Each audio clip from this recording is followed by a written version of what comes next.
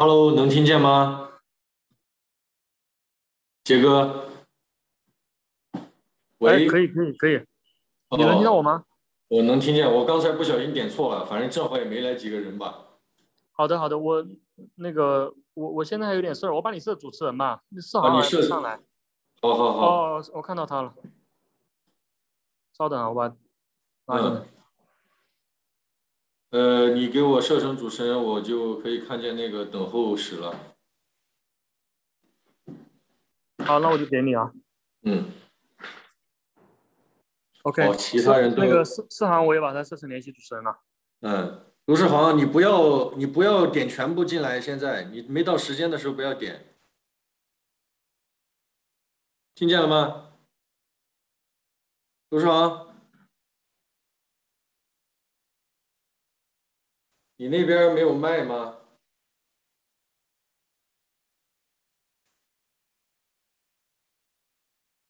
好，好，那你就先不要那个，呃，待会儿那个什么，待会儿等他们那个到点了再全部放进来，现在先不要，好吧？嗯，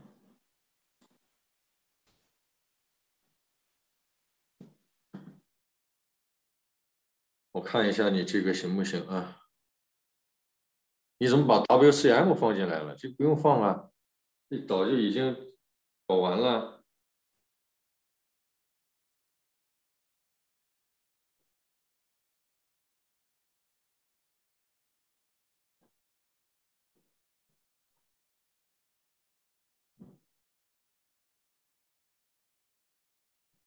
那是康麦的八月一号截稿，WCM 已我们已经前几天让你们审的不就 WCM 吗？没事儿，我给你删掉了，嗯，好像没别的了吧？唉，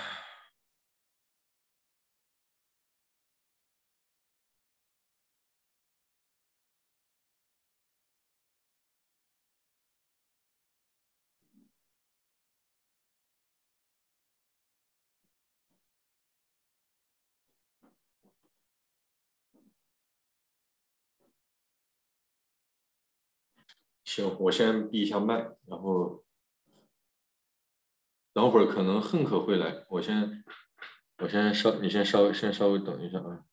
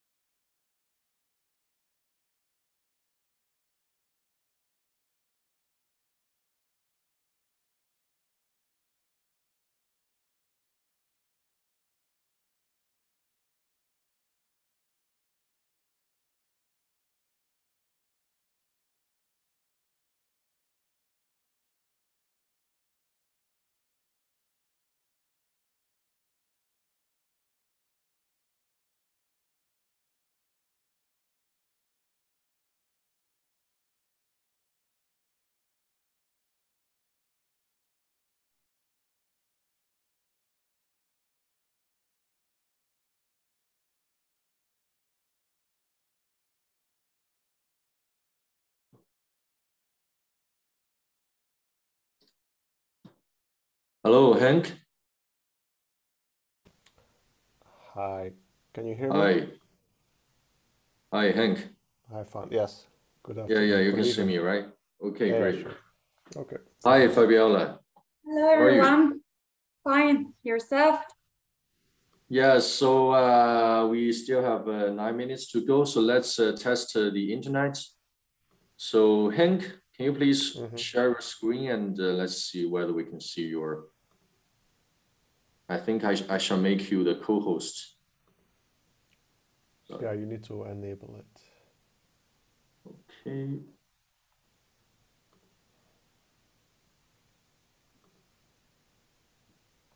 And uh, yeah, yeah, now I can, yeah, yeah, I can see the screen. Can you turn, Okay. turn your pages? See if it can. Yeah, yeah, yeah, great, great, great, yeah, okay. Okay, so Fabiola, can you, Yes, I can do the same.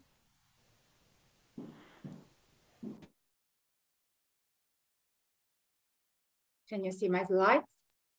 yeah, yeah, very clear. Okay, perfect. Okay. Yeah, yeah, yeah. Okay, then let's wait uh, for eight minutes and then we will start. So I will first give you, I will first in, uh, briefly introduce uh, you, you and then I will cue you. You can then start your presentation. So Henko will be the first and then Fabiola. Right. That's And we have nice. four, 45 minutes, right, for the talk and then 15 minutes Q&A. Is that correct? Uh, uh, My not so presentation is about 50. Not Sure. so strictly. You can have uh, fif- fif- uh, 50 minutes talk and then we, so you can left uh, like uh, 10 minutes for the Q&A, Okay. depending on how many people will ask questions. Yeah, sure. Yeah, yeah, yeah. And, and how do uh, people ask questions? They ask live or they do through the chat? What's the procedure? Uh, I will ask them to enter into the chat and uh, when I, when, when, and during the Q&A, I will name the questioners and he will ask uh, in live. Mm. Yeah, yeah. Okay. Sounds good. So Henkai have just uh, sent you uh, an email about our special issue. Yeah, yeah, Always yeah. giving me work, yeah. Sorry. Oh, no. I will take care of it tomorrow. Yes. Thanks for the support, Henk, and also. Fabiola. Yeah, for our events. So how how are your summer holidays? Are you taking a va- vacation Or- Hopefully in two weeks. in two weeks? Okay. Yeah. So you will travel around? Yes, I'm supposed to go to Iceland this year. Ah, Nice. Quite nice. cold there because in Okay. Rome they are almost melting. So, How about you, Henk? Uh, in Sweden, the in the Nordic countries, the vacations are almost over. So I think after next week, everybody comes back to work. So it's Ah, okay. not, not so like I- in Italy where it's in August, I guess, the main vacation. So I heard from Weijie that you recently got uh, got sick. Yeah, I got COVID uh, two weeks ago. It was uh, Ah, COVID. very Okay. painful. But the worst thing is not being able to smell and taste. That was awful. Are are you now recover from your? Uh, Yeah, like 80 percent, but still, it's like when I smell coffee, I cannot smell hundred percent coffee. You know, it's, uh, it's very sad. Yeah. that is totally sad for an Italian Yeah. guy, especially. No, you feel really depressed. You feel you cannot, you don't crave anything anymore. It just everything tastes the same. Wine, uh, yeah, it's it's sad. How about you, Fan? You have time for vacation? Uh, maybe also next. Uh, so maybe early next month. hmm Yeah. Always have lots of stuff to do, you know. So lots of uh, so you know that book chapters hmm and this uh, magazine special issue. Yeah. Yeah, always busy. But it's okay. You're you're young, right? So you can handle it. Yeah, yeah, yeah, yeah. So so far so good. hmm But we we should uh, collaborate again, right? So Yeah, yeah, yeah, yeah, our last uh, last uh, co-author paper. Yes. Exactly. But yeah, it, it, it is really busy, so it's always uh, difficult to find Yeah, yeah, yeah, yeah. Actually, we we we we have re we recently we have done lots of uh, works on the vehicular stuff. Mm-hmm. Um, yeah, so maybe you, you will be interested and we can maybe set a call discuss. to discuss. Yeah. Yes. I guess from China you guys still cannot travel, right? Yeah, we're Not not, uh, we're not, we're not able to travel abroad now. Mhm. So you guys are very fortunate. You can travel to Yeah. all kinds of conferences now, right? No, but it's very sad. I have lots of Chinese students. They haven't been home in two years. It's uh, Oh, really? Yeah, really tragic. But I think they can they, they can travel to Sweden, but uh, the, it will be uh, difficult for them to go back to China. Yeah, that's the hard part. Yeah, they're stuck in quarantine Yes. for a long time. Yes. How about you, Fabiola? Do you have any uh, Chinese students? I was supposed to have because some of them wrote me just to visit uh, our research Mhm. group, but then that was impossible due to the COVID pandemic. So it was very sad because I was in talk, contact with uh, two or three very good students uh, according to their CV. So I was very excited to receive them in our lab, but unfortunately it was not possible. So I hope that will be possible in the next future. Yeah, yeah. I think uh, the policies will be released, uh, will be lifted maybe next year. Yeah, I, I always want to travel. I missed uh, all all the all the conferences, the uh, uh, ICC Globecom, MICAS, radar conferences, all of Right. them for almost uh, three years. Yeah. I, ICC Yeah. was pretty close, no? In Seoul, not not too far from China. Yeah, but still, you need to be quarantined for like three weeks. Mhm. You go back to China. Yeah. Then, yeah, It's a So- long time. very high cost. Yes. Yeah, sure. Uh, hopefully, next year will be better. Yeah, hopefully. Okay, I'll share my screen now and uh, to. Okay, now we have uh, 50 people waiting in the wait, wait in the waiting room. So let's uh, wait for another two minutes and then we can start. Sure. By the way, when will the video be live on YouTube? How long does that take? We we're, trying to we're trying to do live streaming on YouTube, but uh, in China that is uh, not very viable. So we now stream in a Chi- in a Chinese uh, you know Chinese website, the Bilibili. Okay. Yeah. Okay, so I think people are all in now. So uh, Shihang, can you please um, mute all? Okay, let, me mute.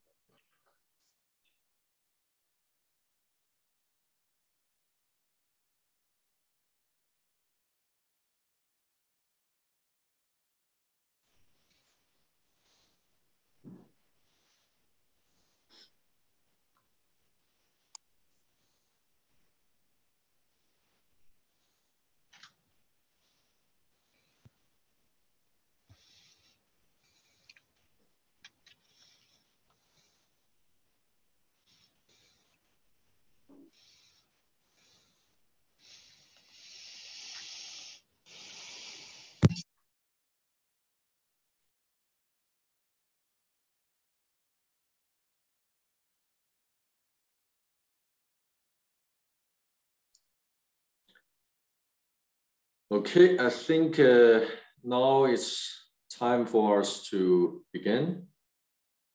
And uh, okay, so uh, Shihang, you can see my screen, right? I think, uh,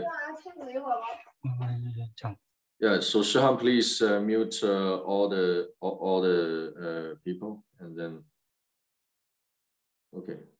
Okay, so uh, welcome everyone to the uh, HV ComSoc SPS webinar series. And this is our second season, and this is a fifth seminar, and which is also the uh, uh, uh, last seminar of this season.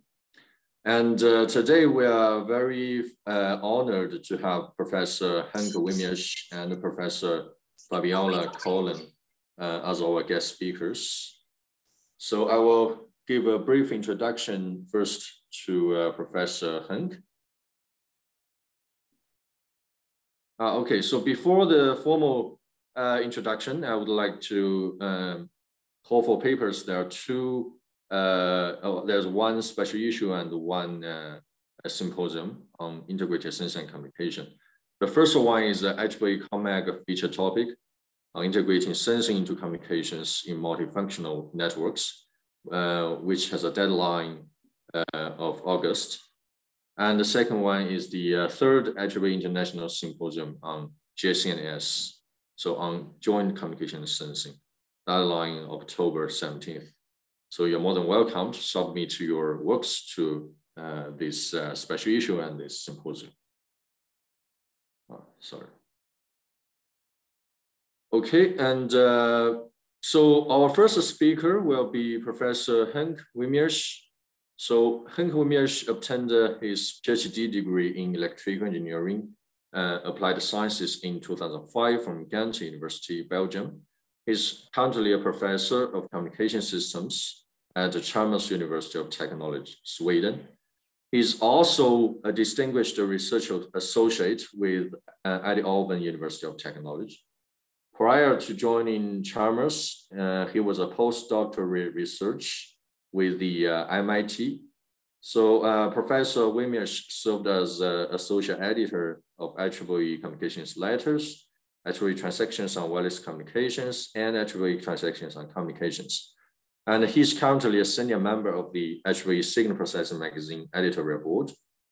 And during the 2019 and, and 2021, he was an IEEE distinguished lecturer with the Vehicular Technology Society. His current research interests include the convergence of communication sensing in the 5G and beyond 5G context. Okay, before uh, we start uh, the first uh, uh, seminar, I would like to remind you about our Q&A rules. So all the audiences will be muted during the seminar. And please do not annotate on your screen because everyone can see your annotation. And uh, also please um, type your questions and send them to the host and co-host. And we will collect questions from both audiences from Zoom and offsite live broadcasting. During the Q&A, we will choose uh, three to five questions to ask a speaker. And uh, you will be named and you are encouraged to ask questions by yourself. Okay, uh, so far that, that, that uh, that's all the introduction for Henk's uh, seminar. And now I will hand over to Professor Henk Wymeersch. So Henk, the screen is yours. Perfect. Let's see.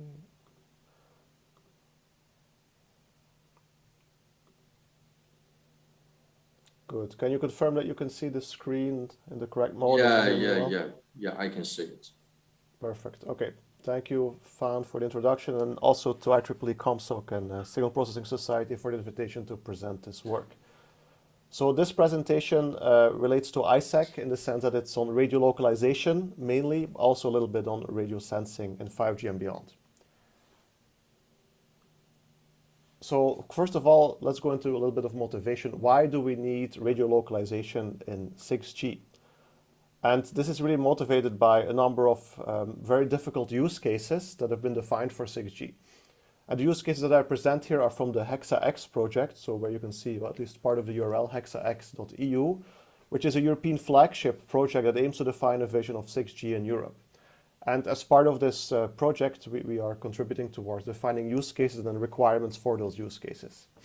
So here are just three selected use cases from Hexa-X. The first one is uh, infrastructure-less and embedded networks. So where, for instance, you would have cooperative localization between vehicles, which has a high requirement of localization accuracy, for instance, one centimeter accuracy, with a relatively high update rate and high availability and high scalability requirements.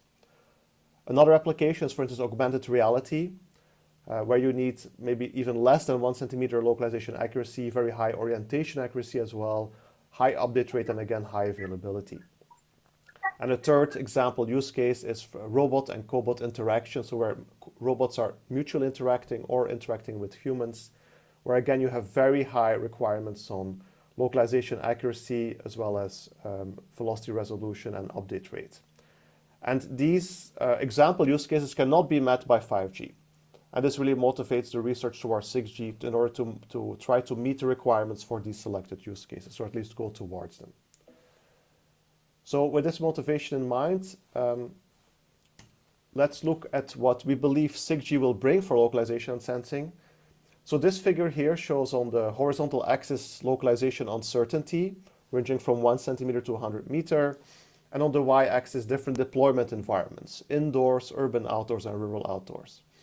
And then you see these different colored blobs, they represent different technologies. So for instance, you see GNSS, which can provide um, wide varieties of uncertainty depending on the variation of GNSS, but mainly for rural outdoor scenarios. If you go to urban indoor scenarios, you can use ultra wideband 4G or 5G to go down to meter level accuracy. And this can support some of the, the traditional applications, but not those very strict applications I talked about in the previous slide. So for those, we probably would need 6G. And then here I put this green colored blob on the performance of 6G, which will provide centimeter level accuracy indoors and in urban outdoor scenarios. And the question is uh, why and how can 6G provide this? So we will talk a little bit about the underlying technologies of why we believe 6G can provide this high accuracy for these scenarios. So with this motivation, let's now go to the outline of this presentation. So I will first talk a little bit about the foundations of radio localization sensing. Since this is mainly an uh, ISAC audience, I thought it was good to talk a little bit about yeah, the differences between localization and sensing. Then I will talk about how localization works in 5G, both what is done in practice and what can be done with 5G as it is, with little modification. And then I will talk about integrated sensing, localization, and communication towards 6G.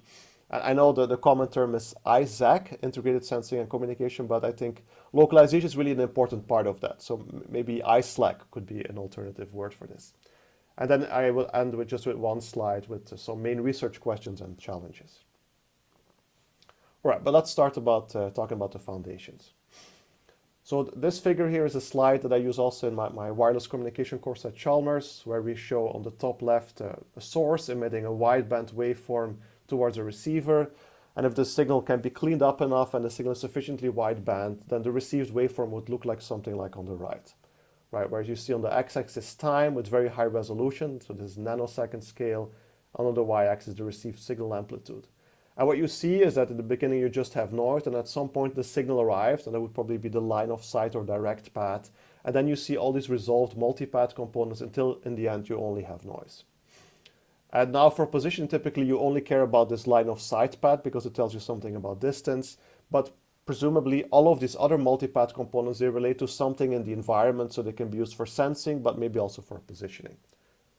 Now, in, in reality, a normal receiver would not have access to such high resolution measurement, but we use different kinds of measurements, such as signal strength, time-based measurements, and angle-based measurements, which I will talk about in a minute. Now, given these measurements, then to figure out the position is a standard statistical estimation problem, which means that we can rely on all the traditional tools from estimation theory to solve this problem. This includes uh, Fisher information theory for performance analysis and uh, signal design, algorithms such as geometric algorithms, as well as maximum likelihood algorithms, as well as methods based on convex optimization and Bayesian filtering. A lot of work is done also on signal optimization, which here there's a distinction between signal optimization for communication and for localization. So, the, the, for instance, the directional signals that you would use for high SNR communication are not the ones that actually you would use for positioning. I will talk more about that later. And then we need to deal with all kinds of practical considerations such as synchronization, calibration, hardware limitations, and so forth.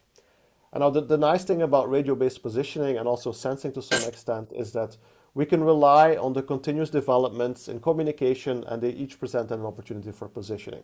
So over the years, there's been, the, of course, the introduction of MIMO, millimeter wave, massive MIMO, now terahertz, intelligent surfaces, and so forth.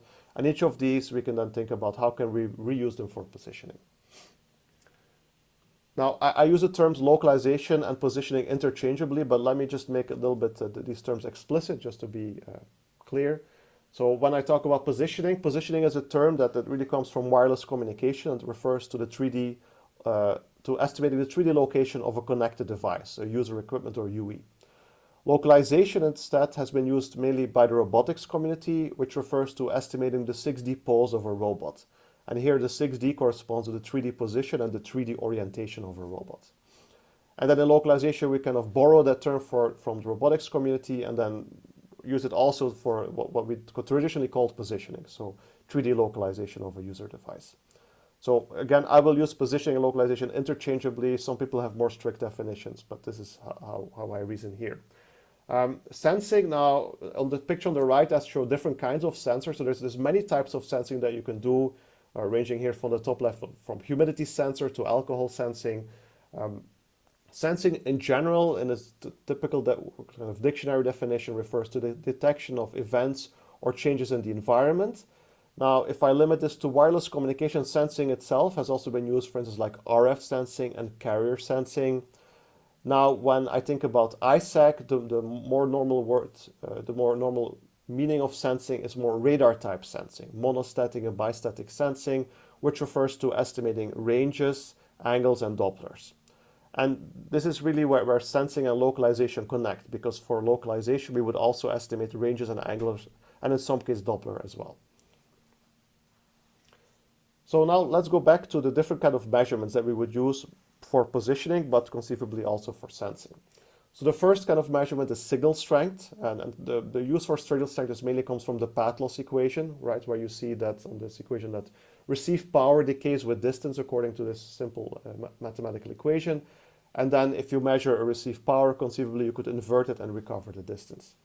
Now in practice this doesn't work because this is really shown on the picture on the right, where you see that for each distance there's a wide variety of received powers that you could have. This means that this mapping is not one to one. And for that reason, using received signal strength for estimating distances is very dangerous. It's um, something nice you can do in theory in a paper, but it will rarely work in practice. And for that reason, signal strength is most commonly combined with fingerprints, where in each location there's a unique fingerprint of signal strength from different access points. And this fingerprint is unique to that location, so the signal strength can be used to then recover the location. The most common measurement for positioning is time-based measurements. Uh, so I will not go through all of the equations for reason of time, but just look at the picture on the right. So where a source is emitting a signal, for instance, a base station, the signal takes some time to travel over the air and then arrives at the receiver. And then the receiver, in this simple line of sight scenario, would estimate the time of arrival of that waveform.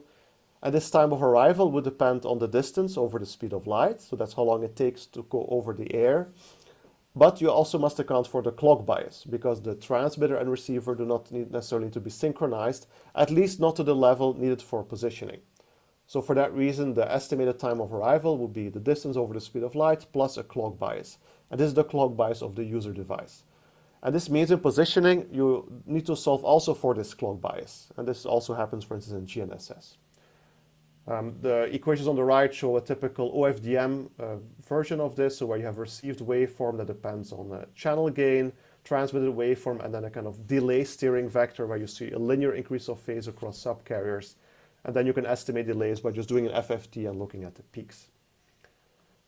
Something similar happens with angles, so you can estimate angles of arrival or angle of departure. On the left side, I show how angle of arrival works. So you have here a remote source, let's say a mobile phone, with a single antenna emitting a signal. This arrives at the base station who's in far field of the transmitter. The base station is equipped with, a, in this case, a linear array with lambda over 2 spacing. And then because of this angle of arrival theta, the signal arrives a little bit later at successive elements, which translates to a phase change. So then the observation model at the base station would be a channel gain, and then a steering vector depends on the um, angle of arrival plus noise. And in this steering vector, you see the linear increase of the phase with the antenna index, and which depends on the angle of arrival. And again, you have a similar structure as you had with delays. You can do an FFT, look at peaks, and then you can measure the time, the angle of arrival. A little bit more uh, or a little bit less intuitive is angle of departure. So in this case, would, the base station would emit uh, signals across all of its antennas. So it would have a vector of signals across the antennas. And then the user, the remote user would see a scalar waveform if the user has only a single antenna, which would be a complex channel gain, the same steering vector, but now transpose times the transmitted waveform plus noise. And from this waveform, if the receiver sampled it, you can have discrete time observations. And if you connect, connect enough of those discrete time observations, you can estimate the angle of departure. Um, and of course, for this angle of departure to be meaningful, you need to know the orientation of the base station, because if you rotate the base station, the angle of departure will change. How this is done um, in practice is by sending directional beams. So the base station would send directional beams in different directions. The user could measure the signal strength and then the beam uh, with the highest signal strength would then be directly mapped to the corresponding angle of departure. An angle of departure in this case is a very valuable measurement because it constrains the user to be on the line away from the base station. And then you can put those measurements together in different ways. So if you do only delay-based positioning with um, time difference of arrival measurements, you constrain the user to lie on the intersection of hyperbola. If you do based on round trip time measurements, where you measure directly the distance based on a back and forth signal, then the user is constrained to be in the intersection of a number of circles. If you do angle-based positioning, the user is constrained to lie on the intersection of lines in 2D or 3D, and then you can do any combination of the above. Of course, these measurements are typically subject to noise and biases, so these intersections, for instance, of circles is not perfect. And in that case, you would formulate the positioning problem as a statistical estimation problem, where you have a vector of measurements, y, a bunch of angles or delays, which relate to the hidden state, so the position of the user, maybe the clock bias, the orientation of the user, through some deterministic mapping, which you know, plus measurement noise. And then you can apply, for instance, least square estimation or um, maximum likelihood estimation to recover x from y. And now these kind of problems are typically very nasty non-convex problems. So you would solve them by first having a, a pre-processing to have an initial guess, and then you would do gradient descent on this cost function or on the maximum likelihood cost function. So this is just the basics of how positioning works. Now let's see how this maps into what is done in 5G. So the standard approach for positioning in 5G is using time difference of arrival. And here I show how this works in uplink. So you have a user emitting a base a signal to several base stations. These base stations are perfectly time synchronized, so they completely agree on the time. This means that when base station i measures the time of arrival, the time of arrival at base station i would be the distance between the user and the base station over the speed of light, plus the clock bias of the user plus noise. And this clock bias, again, you don't know. Now to get rid of this clock bias, you would take differential measurements. So you would declare one of the base stations to be the reference base station, and then you have these differential measurements, which no longer depend on the bias. And each of these differential measurements is a difference of distances, which geometrically corresponds to a hyperbola. This is what's shown on the right. You have three base stations here, and then one of them is the reference base station. You can compute then two time, of, time difference of arrival measurements, and then you must lie on the intersection of these hyperbola. Now, the nice thing is that um, time difference of arrival, at least in uplink, you can do it with one transmission per device. Uh, so it scales really well. On the downside, it is limited, first of all, by the base station placement. So the base station need to be in a good configuration to have good positioning accuracy. If they're all on a line, that would probably not be good.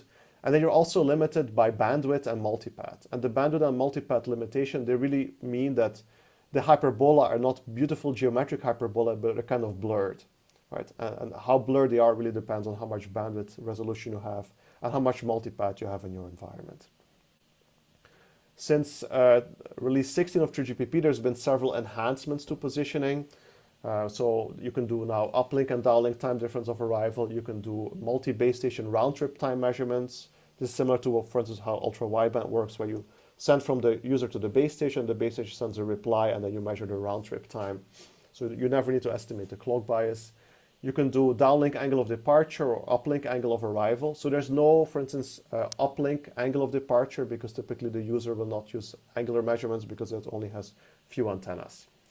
Um, there's also been lots of work in standardization on the positioning signals. So this here is in time frequency, how the positioning reference signals would look like. So you would have orthogonal signals per, for the different base stations, but that would in total span a large time frequency range. You need a large frequency range to have good delay resolution, and you need a kind of sufficient time range to have enough integrated SNR. And then you can adjust the duration of these uh, positioning reference signals based on the application.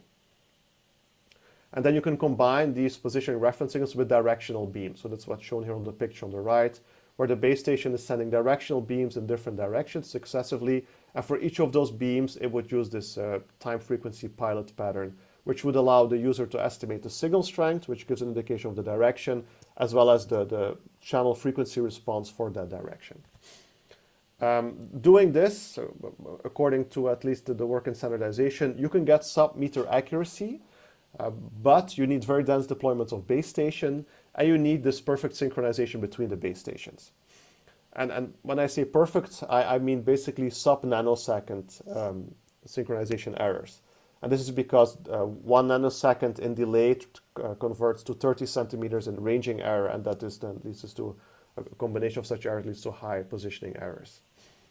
Um, an, another limitation right now is that typically, even though you have uh, potentially a lot of base station antennas, um, the, the, the, beams that are being used are still quite broad. So this limits the angle resolution and also typically you have very limited knowledge of the beam patterns at the base station, which prevents you from using very high resolution uh, processing. But I think now in standardization, this is being appreciated as a very important topic and a lot of work is ongoing on refining both positioning protocols, algorithms, and signals, as well as architectures. And now this is also being extended to sensing in release 18. And I, I, can refer to this paper that appeared recently in Communication Magazine on, on how positioning 5G works, if you want to know more information. Now, within 5G, there are several things that you could do, but that are not being done without any real change to standards. So the, the first one is uh, to do multipath exploitation. So traditionally, multipath is something that harms you. It, it interferes with the line of sight path. It creates ambiguities. But in fact, if you have both uh, angle measurements at the base station and at the user side, you can exploit a multipath. And, and the, the reason for this is kind of a, a, very simple counting argument. So if you look at this figure here on the right, you have a base station, and here I do localization with a single base station. You have a user which has an unknown position, maybe an unknown heading. Um, now, if the user has an antenna array, I need to also estimate the heading of the user, of course. And then there's a propagation environment with different objects. So for instance, if I have a large uh, reflecting wall here, then I can associate with this wall a so-called virtual anchor. So that's the reflection of the base station with respect to the wall. And then when the user is moving, the, the incidence point of the wave on the wall is moving, but the virtual anchor is always in a fixed location. And when I connect the virtual anchor with the user, I go through the incidence point. All right, this is just to say that um, with each multipath component, I have three dimensional unknowns. Right? So this could be the incidence point location, this is three unknowns, or it could be the virtual anchor location, also three unknowns. However, at the same time, I have more than three measurements because with each path that I receive at the user, I can have five measurements. And I have five because I have the delay of the path, the time of arrival. I have the angle of departure at the base station in azimuth and elevation, and I have the angle at the, of arrival at the user in azimuth and elevation, provided I have a planar array. So this means that I have more observations than unknowns, and that means that actually the, the multipath can help you. So for instance, in this case, uh, it turns out that you can localize yourself with a single base station if you have one resolvable multipath component and you have the angles and delays of that multipath component. So that means you only need one base station and all the synchronization problems that you had, they go away. Now, similarly, you could even think about removing the line of sight component. So the grid line, if that is gone, if the line of sight is blocked for whatever reason, but you have sufficient resolvable multipath, you can still solve the localization problem. I think in this case, you need three non-line of sight multipath components. So multipath can really be our friend if it is resolvable. And this is really what you would do in sensing, right? You would try to sense the environment to figure out where the multipath components are, but we reuse them directly for improving the positioning. Um, now, what you can also get as a byproduct, of course, is you can figure out where those incidence points are. And then this allows you to map the environment, to create a 3D map of the propagation environment, and which then could be used by the next user going into the environment. And the nice thing is, of course, that the synchronization problem, as I mentioned, is gone. It is solved by nature because the wall is somehow by nature synchronized to the base station. Uh, if you want to know more, here are two of our papers where they talk about how to do snapshot and tracking localization for this scenario. I think I also have a very short movie on this, so where a user is moving around the base station, and as it is moving, it is trying to figure out where it is, and at the same time mapping the environment in terms of uh, large surfaces, scatter points, and also there's kind of dots appearing here. These are, these are clutter, so these are kind of things that are appearing but just for a short time and then disappearing, and then the filter needs to take care of that. Um, another thing that you could do with 5G right now, but it is not being done, is to do per user signal optimization. So as I mentioned before, how 5G right now works is you have these directional beams, and then within each directional beam, you would do this time frequency positioning reference signal. But this is hardly optimal. Uh, this is because if you already know more or less where the user is, you shouldn't spend energy in illuminating areas where you know the user is not. And if you know, if you have some prior information, you can actually do much better signal design. And this is kind of spatial signal design, which is of course also relevant for, for sensing applications. Um, you can do this by doing a Cramér band optimization, which you can solve as a convex optimization problem.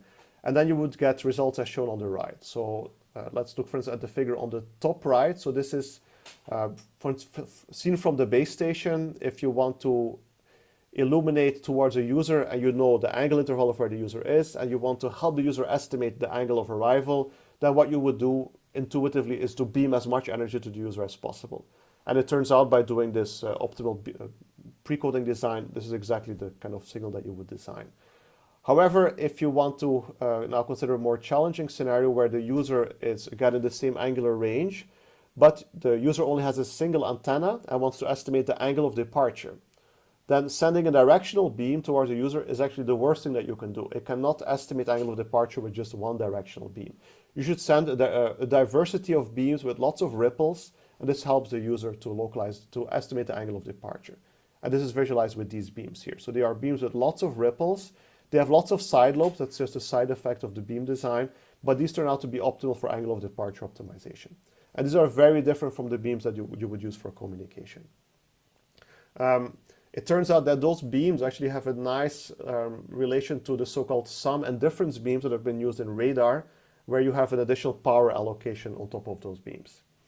And what we found is, uh, well, and you can see this in, in, in these papers listed here below, is by using optimal precoders at base stations, you can have significantly improved positioning performance, not just for the direct line of sight pad, but also if you know where an obstacle is, you can illuminate both and have a relative power allocation to optimize uh, positioning performance. It turns out you can also do this with analog arrays, so you don't need digital arrays to make these very fancy beam patterns, even like the ones shown here in the, the, the colorful pictures in the middle. Analog arrays can do this as well with some um, additional computation. Um, however, it turns out that doing this optimization of this beam codebooks is, can, tends to be high complexity, so probably you want to use a codebook-based solution rather than doing on, on the fly optimization. Let me just take a sip of water. And then uh, a third potential, and, and okay, I'm, I'm, preaching to the choir here, of course, is, is to use sensing um, within 5G. So you can think of having a full duplex transmitter, which communicates to uh, a receiver, but at the same time uses the backscattered signal to do radar kind of signal processing. And now at, at high frequencies where you have this large band with the large arrays available, the backscattered signals can provide good information about range and angle, and this really acts like a radar. So the, the picture on the top right, if I put FMCW, then it would just be radar, but if you use, for instance, OFDM, then the backscattered signal could also be used for radar processing, but the forward signal would then be used for communication. And this then allows you to play lots of um, interesting games. And of course, there's lots of work in the ISAC literature on this. You can play these games in time, frequency, and space to have performance trade-offs between radar and communication. So here, uh, the figure on the right is an example of a work that we did where we do OFDM power allocation. So we just have single antenna transmitter, single antenna receiver, and then the uh, backscattered signal. So all we can play about, around with is the power allocation. And we, we know, of course, that if we just care about communication, the optimal power allocation would be water filling, and that corresponds to this, this point on the right, where on the x-axis we show the capacity, so uh, a communication metric, and on the y-axis the, the range CRB, so a radar metric where lower values are better. So if we do standard water filling, that's the best for communication, but actually turns out to be the worst for radar. And then if we do the, the best kind of power allocation for radar that turns, to, turns out to be kind of really bad for communication, but very good for radar. And we have this Pareto optimal frontier that we can walk on using these uh, optimization tools. So this is just one example of, of how you could play with, with power. You can, of course, play with beamforming, uh, combining, and so forth. On the other hand, um, to my understanding, you cannot have all the, the full freedom that you would have in, in normal radar. For instance, if you have a MIMO radar with virtual arrays and orthogonal waveforms, you cannot do that when you do communication at the same time. But nevertheless, I think that this really, this potential is the foundation of, of, of what, it, what ISAC is all about. So the integration of sensing and communication by doing monostatic radar with communication signals. All right, so this is a, so far a little bit about how 5G positioning works and what we could do with 5G with, with minimal changes. But now let's look a bit more forward and see what 6G will all be about and, and how it will uh, help localization and sensing. Um, now, if we look at 6G, and I don't pretend to know what, what 6G will be, but um, Chalmers is part of several European projects where we try to define 6G, so at least I can give some indication of, of what it's kind of agreed among the consortium partners of what 6G will entail. So um, 6G, first of all, will have a variety of carrier frequencies. There's a lot of talk about terahertz. I, I don't think really frequencies above one terahertz will be used for 6G. Maybe uh, we go to higher millimeter wave frequencies of 140 gigahertz, but they will be combined uh, with the traditional millimeter wave frequencies and also sub 6 gigahertz. And I think we should not forget that all of these frequencies together will make up 6G. It's not just the high frequencies. And all of these play a role uh, for positioning and also for sensing. Of course, by going to these higher frequencies, we'll have large aggregate bandwidths, um, far above 1 gigahertz. People are talking about 10 gigahertz of bandwidth at 140 gigahertz. And this high bandwidth is really good for positioning because it provides us high delay resolution. And that, of course, is also very good for sensing, both monostatic and bistatic sensing. Um, because we will work at higher frequencies, we'll of course have to deal with higher path loss, which then we must mitigate by having a large number of antennas, not just at the base station or access point, but also at the user. So we imagine that uh, at the user device, you will have a, a, an array or even several arrays on the user. And this means that if you want to do positioning and if you want to do even beamforming towards a base station, you need to know the orientation of the device. And this means that we go from 3D positioning to 6D positioning in 6G unavoidably. in 6G, now sidelink is again on the table as a topic of standardization. This provides us with means to do relative positioning, so bistatic sensing, for instance, between vehicles. Uh, and of course, it's going to be used for, for radar as a monostatic sensing. Um, I think a very interesting development again, uh, which has been talked about for, for many decades now, but maybe now it will really become reality in 6G. Um, then the fifth topic that I think will be part of 6G is, of course, network densification. Working at these higher frequencies, you need many more access points, and this will, of course, lead to having higher probability of line of sight to those access points. So even though I said you can do positioning without the line of sight pad necessarily, by having line of sight, it really helps you. And a, a very nice example of this is distributed cell-free massive MIMO, where you would have many, many access points per user. And I see great potential for massive MIMO, even at of, of cell-free massive MIMO, even at lower frequencies, uh, to provide higher resolution. At low frequencies, you don't have much bandwidth, so you cannot have good delay resolution. You don't have large antenna arrays, so you don't have good angle resolution, but by having uh, a phase coherent cell-free massive MIMO system, you have basically a very large aperture and you are always operating in near field. And this provides an, an additional kind of resolution, which is something that I think we should, we should, we should really exploit as a community.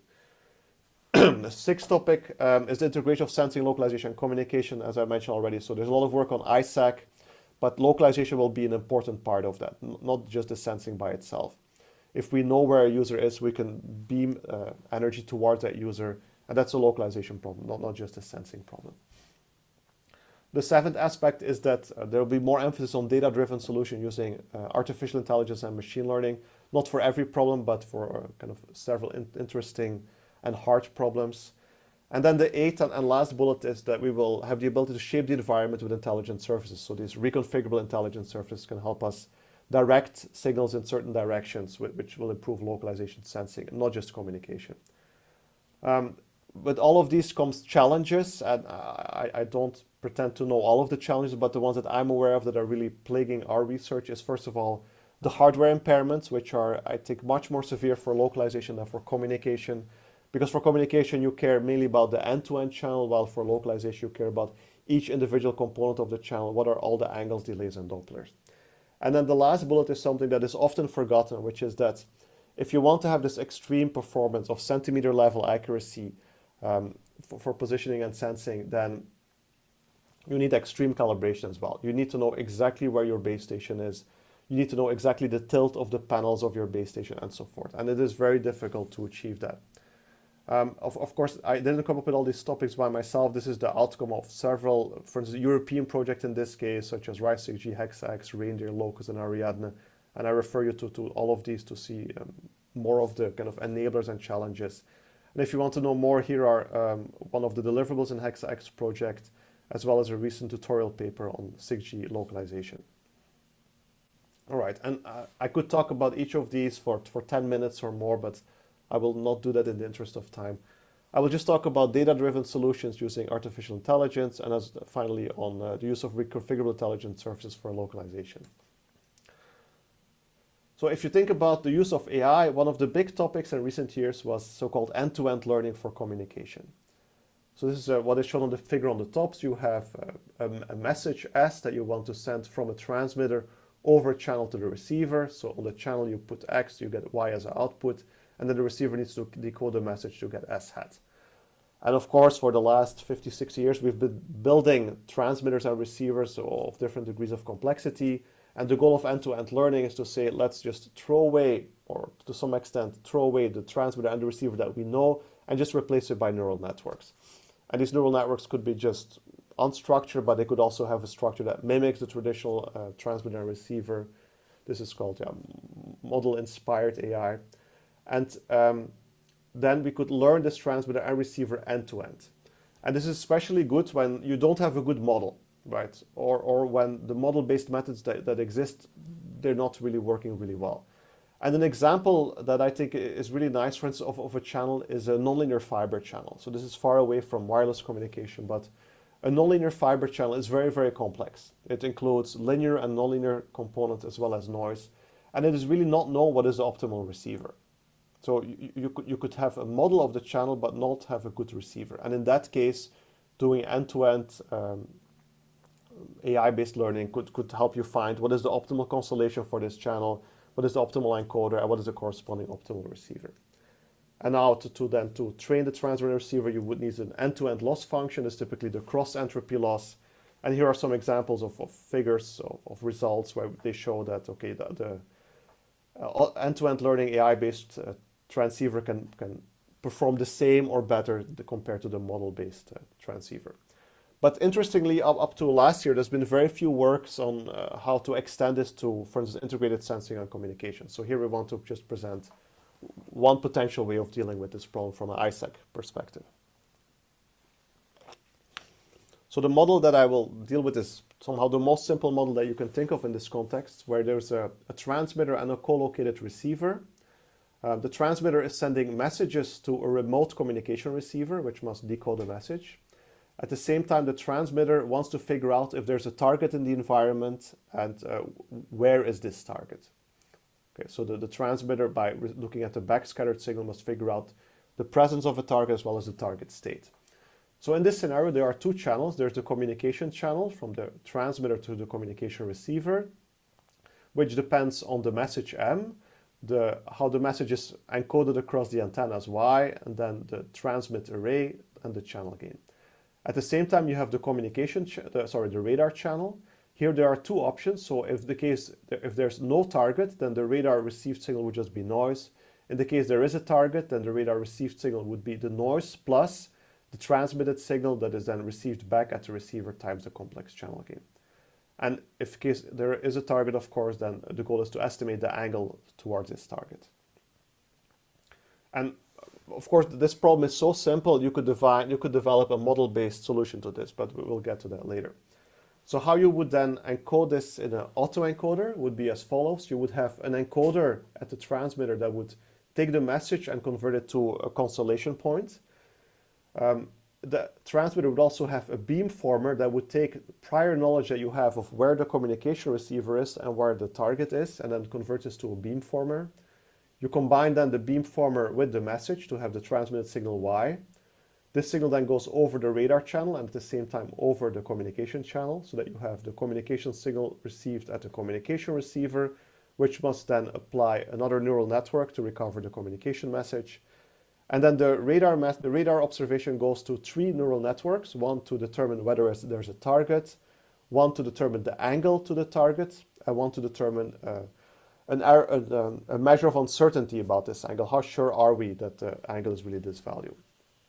And these are the standard outputs that you would want from a radar receiver, right? Presence, the estimate, and how sure you are of this estimate. Well, for the communication, you just care about the message. And it's important to note that uh, the receiver for the radar is actually co-located with the transmitter. So the, the radar receiver knows what is the transmitted message. Okay, now the, the main challenge then in, in this kind of scenario is uh, how do you define the loss function? And what we did is we, we decomposed the loss function to several parts. You have the communication loss function, which is just the cross entropy loss. For the sensing capabilities, we have three terms. We have the cross entropy loss, again, to determine whether a target is present or not. So here T denotes a target being present or not, and Q determines whether we think a target is present or not. Then we have for the regression uh, uh, mean square error loss on the angle.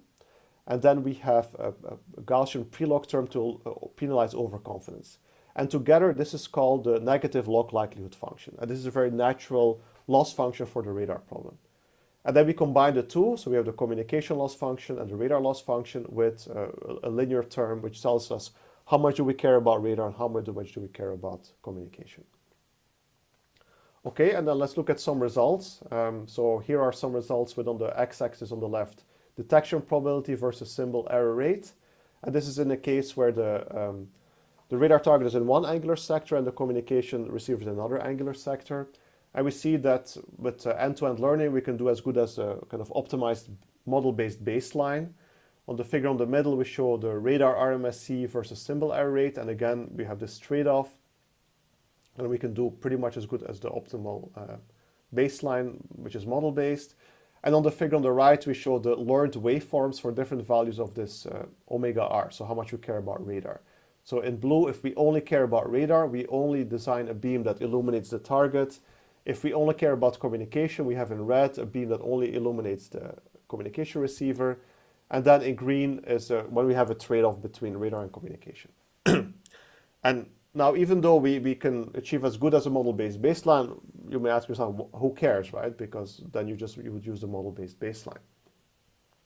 So what happens is that things become interesting when you add, for instance, hard um, disturbances, for instance, hardware impairments. What if the array antenna spacing is not exactly lambda over 2, but there's some very small perturbations? If, if the model-based algorithm does not know about those perturbations, then it will be affected. And this is what we show in the figures here. So on the left is detection probability of the radar versus symbol error rate. The end-to-end -end learning is in green, and then the model-based baseline, which is not aware of these perturbations, of course, is severely degraded. And the same you see on the figure on the right, where you have root mean square error versus symbol error rate. The end-to-end -end learning does really well, but with the model-based approach, you have a severe penalty just because the model-based baseline is not aware of the antenna perturbations. and I think in general, hardware impairment is, is a good use case of uh, AI-based methods. All right, in the last few minutes, I will just talk about uh, the use of reconfigurable intelligent surfaces towards 6G localization. I, I, I, believe many of you know about reconfigurable intelligent surfaces. I will not talk too much about the basics. So they comprise a lot of small uh, so-called meta elements, which are controllable through phase or delay. And this allows you to send a so-called unnatural reflection to an arbitrary direction.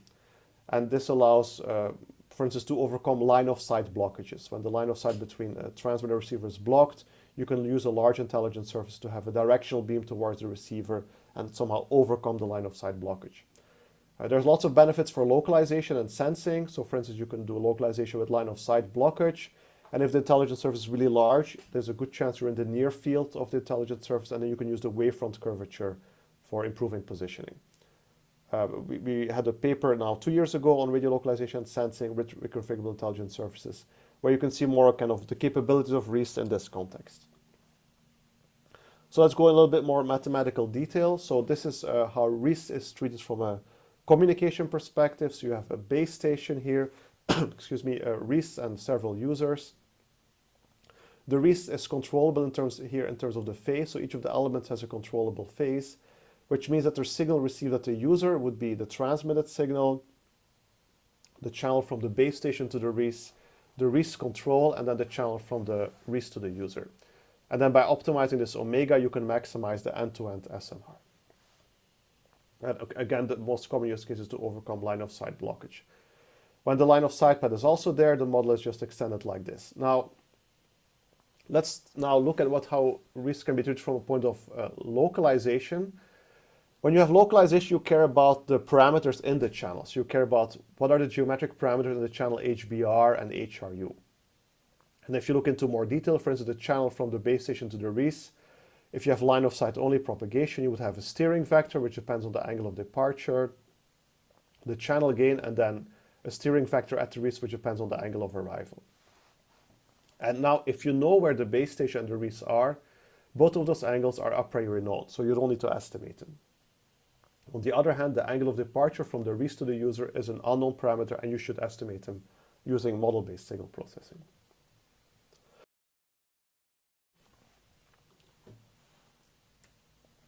All right, so now what are some of the use cases for RIS? I think the, the really attractive use cases there are these kind of almost intractable positioning problems. Just like we had with the single base station positioning, if you think about single base station positioning, you would think it would not be possible, but then we show when you add multipath, it becomes possible. And now since RIS is a kind of controllable multipath, then it should also help to support single base station localization.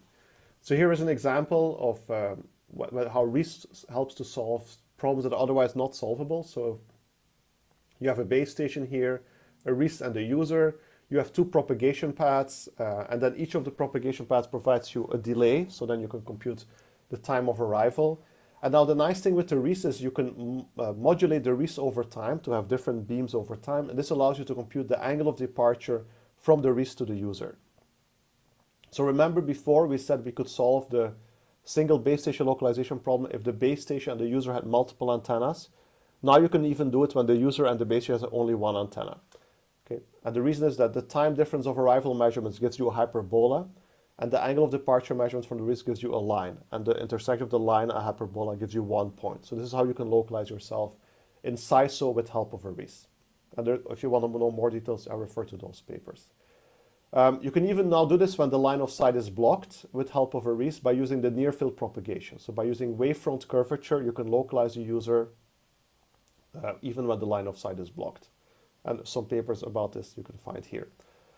And then you can go even one step further and take away the base station. So and now the localization really becomes a sensing problem. So when the user is transmitting a signal and operating in full duplex, it can look at the backscattered signal from the RIS and estimate the uh, time of arrival, just like it would do with any other target. But since the RIS is shining in a predictable way, kind of flickering, it can separate this target from any of the other targets. It can then also estimate the angle of departure from the RIS to itself. And this constrains the user to lie on a sphere around the RIS through the time measurements, and then a line through the angle of departure measurement. So that means you can localize the user even if it has a single antenna with help of a RIS. And then you can find more information in this paper. As an example of how this could work uh, in practice, I will skip this, is um, here a demonstration that we did at Chalmers uh, using um, basically a, a, millimeter wave array where we loop back the receiver to the transmitter, so it acts like a RIS. And then we have here uh, a base station antenna and a user device antenna. The base station is just illuminating the two RIS, and the RIS are, are sending sequential directional beams. And the user is measuring the, the total signal strength. So what the user is basically seeing is, is just measuring signal strength, and at some point when both of the RIS are pointing toward the user, the signal strength will be really high. And that's what we're showing on the picture here. So we're showing the, the estimated and true position of the user by the different beams. And you see that the directional beams toward the user are the ones where the signal strength is the highest, so that tells us where the user is. So by using just single, simple directional beams, you can estimate the user with an error of about 10 cm, 10 centimeters here. And this is using a relatively small RIS, of course, in a small deployment environment. If you work with large RIS in a larger deployment environment, you can get better performance. Uh, if you want to know more, we have this paper on arXiv uh, with all the details of this paper. All right, this brings me to the end of my presentation. Also, my voice is almost gone, so it's good. Um, so I hope now that you realize that radio signals have uh, good potential to provide location information. They have always done this since 2G, but now uh, as we go towards 5G and 6G, they really start to shine. The reason is that we have high frequencies where large bandwidths are available with many antenna elements that are being used, and then we get high angle and delay resolution. Um, in 5G millimeter wave, there's still a lot of untapped potential that I talk about. This includes single anchor positioning, signal shaping, and sensing. Beyond 5G, lots of potential for AI, for RIS to boost and enable localization. Uh, many things I didn't talk about, for instance, that we need flexible um, signals and methods to deal with the flexible requirements. At some point, we are probably going to operate in the same band with similar parameters as automotive radar, and the question is then will be will be competing with them or will it be one system? Um, hardware limitations will be really important for positioning and sensing, and I think this provides very interesting research area. And then also we should be modest and, and apply the, the tools and techniques from, from our connected research field, such as uh, satellite navigation, functional safety, synthetic aperture radar, non-Euclidean optimization, and so forth. Uh, there are many unanswered questions, so all the work I presented here uses very simple geometric models. Um, Having good channel models that cover a variety of frequencies is really important. Having good hardware models that reflect different frequencies is also important. Um, and then questions about how can we meet all of the requirements at the same time? Right? How can we have at the same time high accuracy with low latency and have good coverage? This is very hard uh, problem. Um, but of course, having lots of problems is really good because it's provided us with lots of uh, opportunities. And I, I, always say that since I think the introduction of research into 6G, that the golden age of radio-based positioning and sensing has begun. Um, with that, I want to also acknowledge uh, many of my collaborators. Here is just a, a subset of them, uh, Gonzalo Seco Granados in particular, I've been working with for many years. And you can follow our work on the Hexa-X and RISE-6G website, as well as on YouTube and my personal website. And finally, I want to also acknowledge funding from the European Commission, from Vinnova, the Sweden Innovation Agency, the Wallenberg Foundation, the Swedish Research Council, and the Marie Curie Actions. And this ends my presentation. Thank you. Okay, thank you, Henk. Very comprehensive uh, overview on radio sensing and localization. So we have uh, received a number of uh, questions from our audiences. I think the first one was asked by uh, uh, Ahmed Niemer so uh, Ahmed, can you please unmute yourself and ask the question? Yes, thanks, Juan, and uh, thanks, thanks for the nice talk. Uh, I have just basic questions here about uh, about the localization uh, accuracy, like in terms of position and orientation. So we always talk about the accuracy. There is a position that means there is a point, but how this should be defined in relation to the object shape and size and the second uh, part of this question also related to the accuracy. Uh, so depending on the techniques, how to do uh, to, to get the uh, performance metric, because sometimes the localization accuracy also depends on the location of the uh, object or the terminal under localization as well as the deployment. Thanks. Yeah, so um, re regarding the first question, so the relation to the, the, the, point that you estimate and the shape and the size of the object. So um, here my answer would be that the, the, position refers to, to the antenna array. You have a phase center of the antenna array, and that's the position that you estimate. And that that position needs to be related to the physical object itself. The same goes for the orientation. So there's a default orientation of the antenna array, and then you measure orientation with respect to the default orientation. So it's really the antenna array that determines the, the reference for position orientation. And then um, regarding the second question, the, the, it is true that location accuracy or location performance in general depends on where you are. Right? If you're closer to the base stations, maybe things get better because you have high SNR. If you're further away or all the base stations are aligned, performance is worse.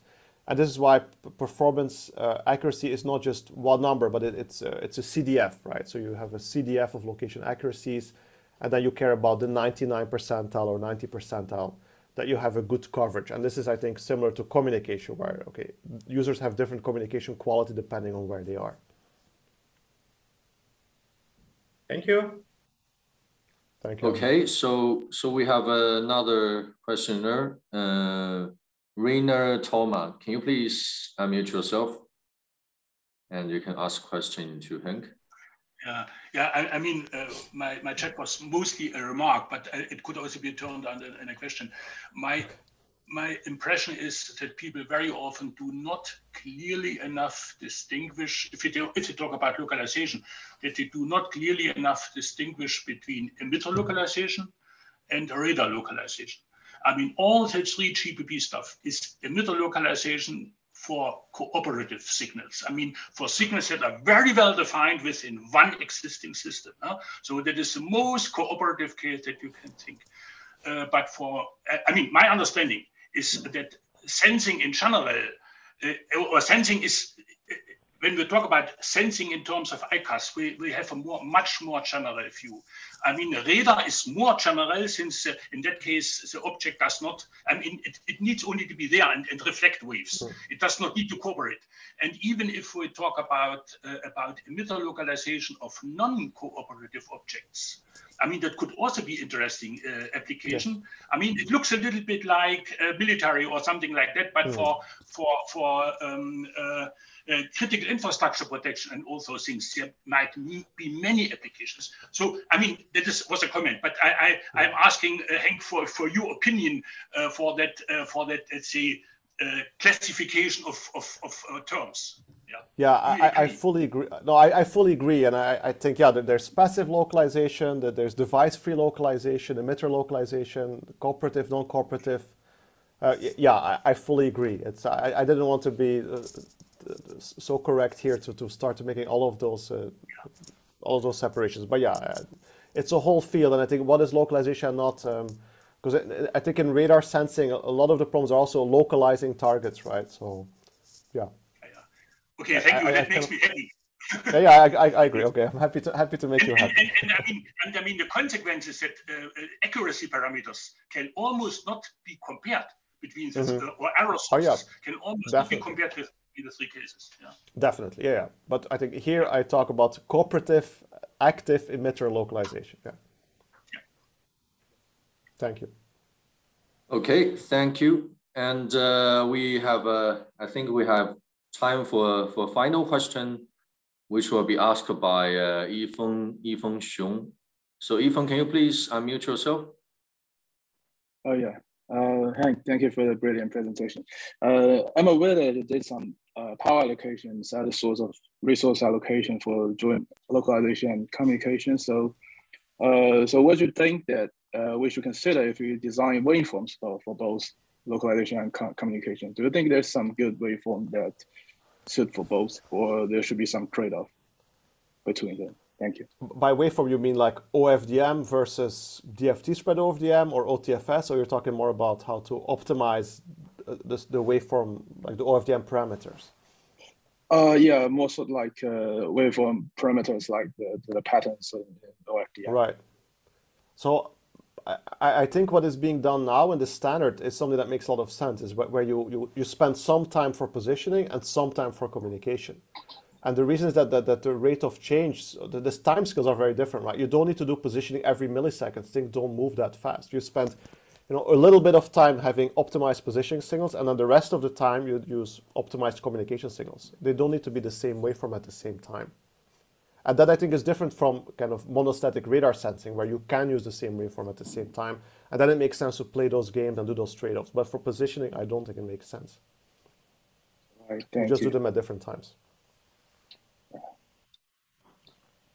Okay, we still have uh, many questions, but due to the time limits, uh, maybe the questioners can send their uh, questions to Henk by email. Thank right, you. Henk? Yeah. Okay, sure. so with that, I would like to thank Professor Henk Wymeersch again for his wonderful talk on uh, integrated sensing, localization, and communication. So let's uh, welcome our next uh, speaker. So let me share my screen. Okay, so our next speaker will be Professor Fabiola um, Colone, uh, who received the uh, laureate degree in telecommunications engineering and a PhD degree in remote sensing, both from uh, Sapienza University of Rome, it Italy. And uh, she was a visiting scientist at the uh, University College London, and she's currently a full professor uh, at the Sapienza University of Rome. So the uh, majority of uh, Dr. Colone's research activity is devoted to radar systems and signal processing. And she has been involved uh, in research projects funded by the European Commission, European Defense Agency, Italian Space Agency, and Italian Ministry of Research, and many, many radar ICT companies.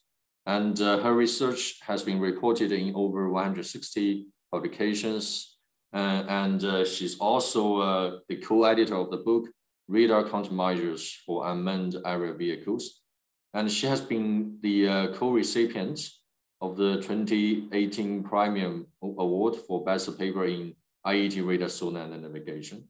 And since 2017, she's a member of the Board of Governors of the uh, HVASS, and uh, in which she has served as Vice President for Member Services, and she's the Editor-in-Chief for the HVASS QEB newsletters. She's IEEE senior member and a member of the HVASS radar system panel from 2019. And she was associate editor for the uh, HVTSP and uh, also a, a, member of the editorial board of the International Journal of Electronics and Communications. She served in the uh, organization committee and um, uh, in TPC of many international conferences, and she was a TPC co-chair of the IEEE 2021 Radar Conference and is the TPC co-chair of the European Radar Conference 2022. Okay, with that, uh, without, without further ado, let's uh, welcome uh, Professor Fabiola Colone. So Fabiola, please, uh, the screen is yours. Okay, can you see my screen? Yes, perfect. Okay, let me hide a few. Mm -hmm. Okay, so thank you very much, Fan, for your kind introduction. And hello, everyone. Thank you for being here today attending this webinar and in particular my talk that is aimed to provide an overview of findings and recent developments uh, in the field of passive radar. But before starting, I would like to acknowledge all the members of, the, of my research group, the Radar Remote Sensing and Navigation Group at Sapienza University of Rome, without whom none of the results reported in this talk would have been possible. So uh, this is the outline of my talk. Firstly, I will illustrate the basic architecture and processing scheme that are required for a passive radar to be effective. And then I will uh, show some results from different surveillance applications. Then I will discuss the current trends of passive radar research. And finally, I will draw some conclusions. So when introducing passive radar to the radar community, this is usually referred to as a particular bistatic radar that exploits an existing transmitter as illuminator of opportunity to perform the typical target uh, radar tasks of target detection and localization, and even advanced tasks such as target imaging or classification, all based on a receive-only passive system. And this brings in a number of advantages from the radar point of view, which are the low cost, no additional demand of spectrum resources, limited environmental impact, and also low vulnerability to electronic countermeasures. However, based on the same identical description, this system can be also regarded as a pioneering form of integrated communication and sensing in which the sensing component is totally subject to the design, development, and implementation of the communication component. And in this regard, I believe it is very important to look at the results obtained in the field of passive radar because this might be inspiring for many of the activities running in the field of ISAC. Well, the idea of passive radar is not new, as it actually uh, dates back to 1935, when one of the first experiments called the Daventry experiment was performed in the UK uh, in order to demonstrate the feasibility of a technology that would have been later known as radar. So in that experiment, they exploited a BBC transmitter at shortwave to detect an aircraft bomber that was flying in the proximity of the receiver with actually very good results. But after the Second World War, the attention of the radar community was mostly focused on the more convenient uh, monostatic radar, while passive radar had seen a renewed interest since the 80s, mostly driven by the need to react to the increasing congestion of the electromagnetic spectrum caused by the proliferation of several communication services. And since then, a number of papers appeared in the technical literature addressing the exploitation of different transmitters uh, and different uh, for different applications. So the most exploited illuminators are for sure those of the broadcast services, for both radio and television, which are typically exploited for long-range surveillance applications, such as the aerial or the maritime surveillance applications. But more recently, the attention has been moved towards shorter range surveillance applications, such, such as against drones, but also vehicular targets and even people. Obviously, in such cases, this is accomplished by exploiting the higher frequency and wider bandwidth signals that are typically provided by the base stations for networking, but also satellite transmitters. So since my background is in radar topics, in this talk, I will mostly address the defense and surveillance applications of these systems. And in particular, I will focus on the first radar tasks of target detection and localization. So when dealing with surveillance applications, the main challenge is to provide a wide and continuous coverage with high reliability. And in passive radar, this translates into the need to detect the weak target echoes against both noise and the strong interference caused by both the transmitter of opportunity and other potential transmitters operating in the same frequency band. And this in turn sets strong requirements on both the employed receivers that should be able to manage wide dynamic ranges and on the signal processing techniques. So in this scheme, I have summarized the main processing blocks that are required for a passive radar to be effective. I will not go into the details of each block. However, I will try to provide some hints, some guidelines to the design of the techniques to be implemented at each block. So for sure, the most important block is the evaluation of the cross ambiguity function, which is basically uh, implementing a bank of cross correlators between the surveillance signal, so the signal collected by the main antenna that hopefully collects the echoes from the targets, and Doppler shifted replicas of the so-called reference signal, this signal is assumed to be a good copy of the transmitted signal and is typically collected by means of a dedicated antenna that is pointed towards the transmitter of opportunity.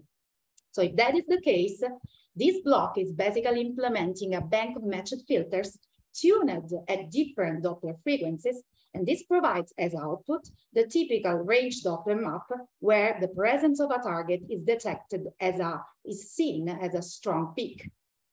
So depending on the application, this block might be characterized by a very high computational load, which might prevent its real-time implementation. So therefore, several approaches have been devised to reduce the computational complexity by resorting to appropriate approximations.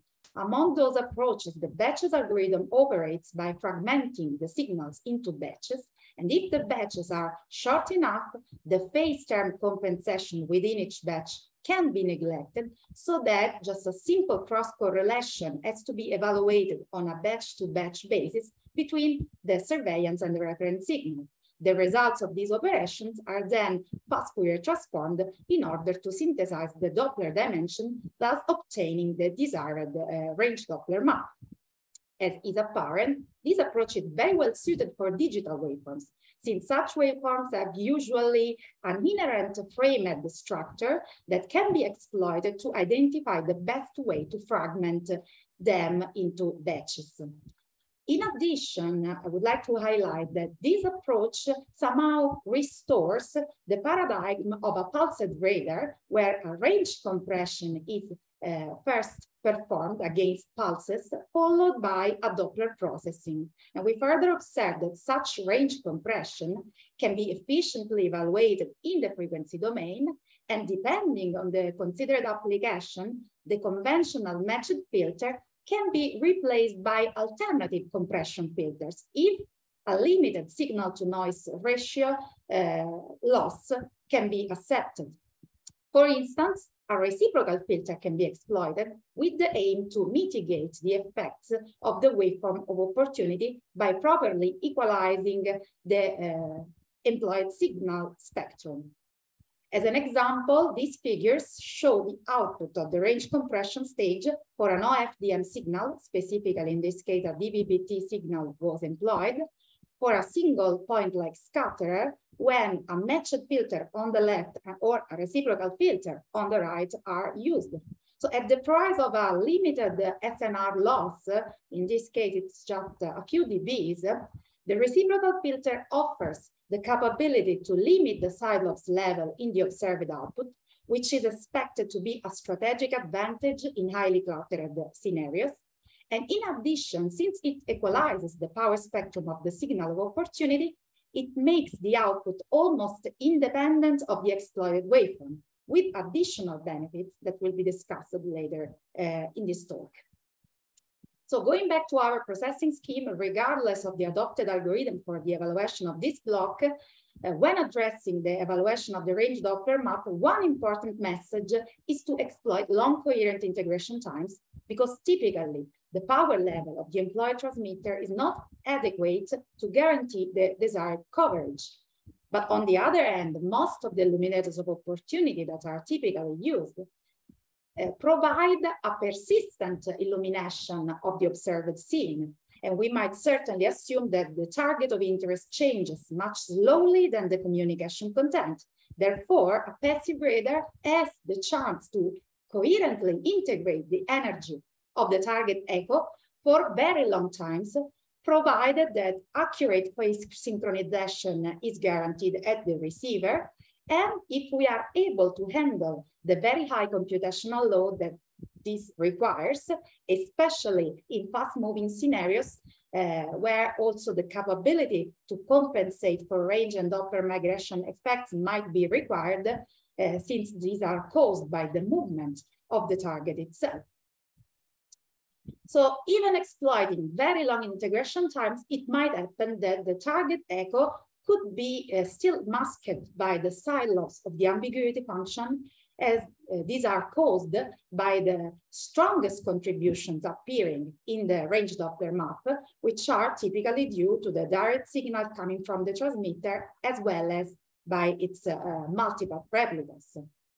Therefore, this block has to be preceded by a dedicated disturbance cancellation block, which is aimed to mitigate such effects. And as regards this block, it is important to observe that it cannot rely on typical clutter cancellation techniques usually employed in active pulsive radar, pulsed radar, because such techniques rely on the assumption that the scene is illuminated by identical pulses, identical signal fragments, which in, the, in this case uh, is not true as we need to deal with time varying waveforms. So ad hoc techniques must be designed in order to be able to adapt to both the observed scene and the exploited waveform of opportunity. And this in turn requires a good knowledge of the transmitted signal as well as, uh, as usual, a very high computational load. Actually, the requirements on the cancellation stage could be mitigated if we exploit signals that are characterized by ambiguity functions with extremely low side lobes, or if the reference signal is properly mismatched in order to remove the dependency of the ambiguity function on the information content. And for instance, this is obtained by substituting the matched filter with a reciprocal filtering strategy, as I mentioned previously uh, in my talk. So the signal processing scheme also includes uh, some uh, signal conditioning blocks, which perform transmitter-specific conditioning of the signals aimed at improving the ambiguity function or at providing high-quality uh, filtering. And after all these stages, the final map obtained is sent as input to a conventional detection stage, which allows to detect the strongest peaks appearing now in the map while controlling the false alarm rate. All the detections are then finally sent in input to the tracking stage, which provides a filtering of the obtained measurements together with the capability of removing isolated detections, which are likely to correspond to false alarms. So with this basic signal processing architecture, the performance of a passive radar might be still limited. First of all, we might notice that with a single surveillance antenna, the targets are only localized in the range Doppler domain, since we do not have any information about their direction of arrival. But most importantly, uh, I should mention that with this approach, uh, the performance is largely dependent on the employed waveform of opportunity and on the instantaneous characteristics of the propagation channel. And both these effects are highly time varying. So in order to improve the performance of the passive radar and to make it robust with respect to the time varying characteristics of the scenario, we have considered the possibility of exploiting some information diversity in different domains. For sure, the spatial diversity is an asset, and this can be ob obviously implemented by exploiting multiple antenna elements on receive, which in turn provides also the capability to measure the angle of arrival of the target echo and to localize it in local Cartesian coordinates. But also spatial diversity might include the possibility of exploiting multiple nodes distributed across the area to be surveyed. And this is expected to further improve the localization capability of the system. Uh, but this also requires good synchronization uh, among the different nodes, as well as the possibility of associating the measurements provided by different nodes under very different bistatic geometries. Another domain in which diversity might be obtained is the frequency domain, and this is inherently offered by several transmitters of opportunity, which emit their signals at different carrier frequencies, typically to serve different sets of users. While these signals are intended to carry different information contents for the users, from the sensing point of view, uh, they just offer different possibilities to sense the same identical scene. So they can be fruitfully combined in order to improve the sensing capability of the system. Similarly, the polarization diversity might be exploited again as offered by transmitters of opportunity, which are able to emit their signals in different polarizations, for example, vertical and horizontal, but also in this case, uh, polarization diversity might be synthesized on receive by exploiting orthogonally polarized antennas in order to collect the uh, signals at the two polarizations and make the system robust with respect to the conditions of the channel. So different signal processing architectures can be considered to exploit fruitfully this diversity of information conveyed in different domains, a very simple approach is offered by this uh, cascaded architecture, where the signals collected at different channels, either spatial channels or frequency channels or polarimetric channels, are firstly separately uh, processed according to a basic uh, passive radar processing scheme, and then a multi-channel target detection can be uh, exploited to jointly exploit the uh, different outputs obtained at different channels. Alternatively, uh, an integrated architecture can be considered where the diversity of information can be exploited at each stage of the processing chain to improve the interference removal, the uh, integration of target energy, as well as its detection and uh, localization. So some of these approaches have been used in the experimental results that I'm going to show, which where this first example was obtained for an experimental passive radar prototype that was developed at Sapienza University of Rome.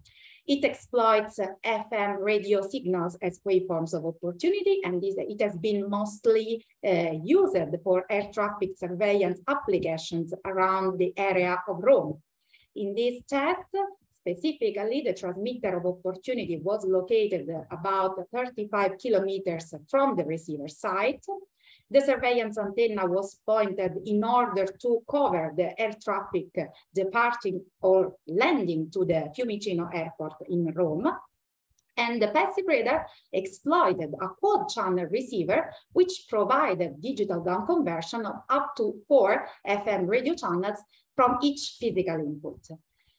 Also, we exploited, we employed uh, dual polarized antennas uh, in order to simultaneously collect the vertical and horizontal polarized versions of both the reference and surveillance antennas.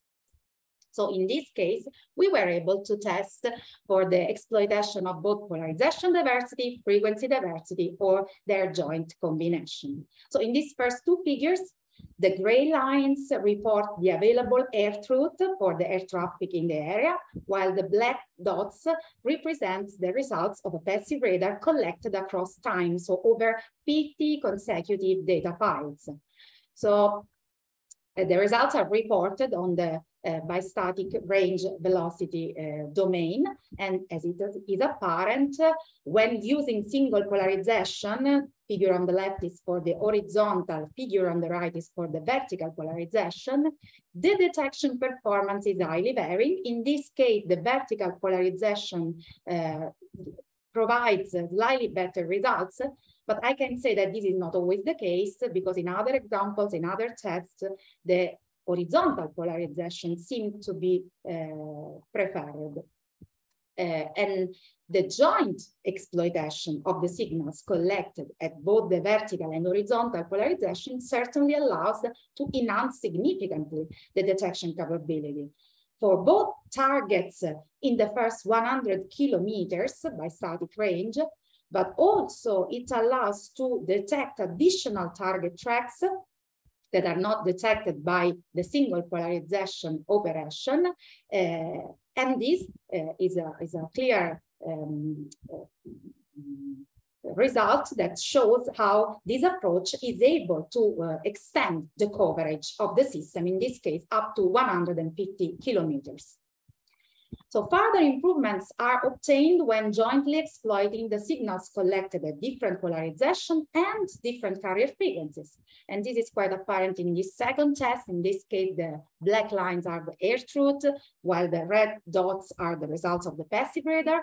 This first, this first figure is for the case of a single frequency, single pole operation.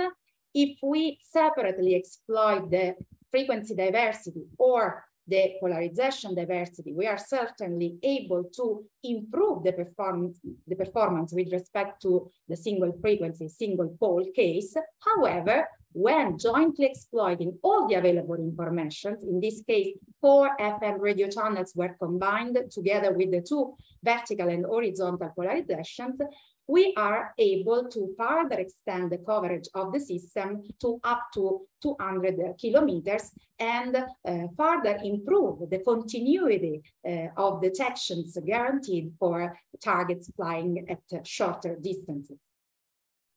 So thanks to the wide data set available, we were able to quantify the uh, benefits from different approaches and the uh, details are reported in these uh, papers listed here for your convenience.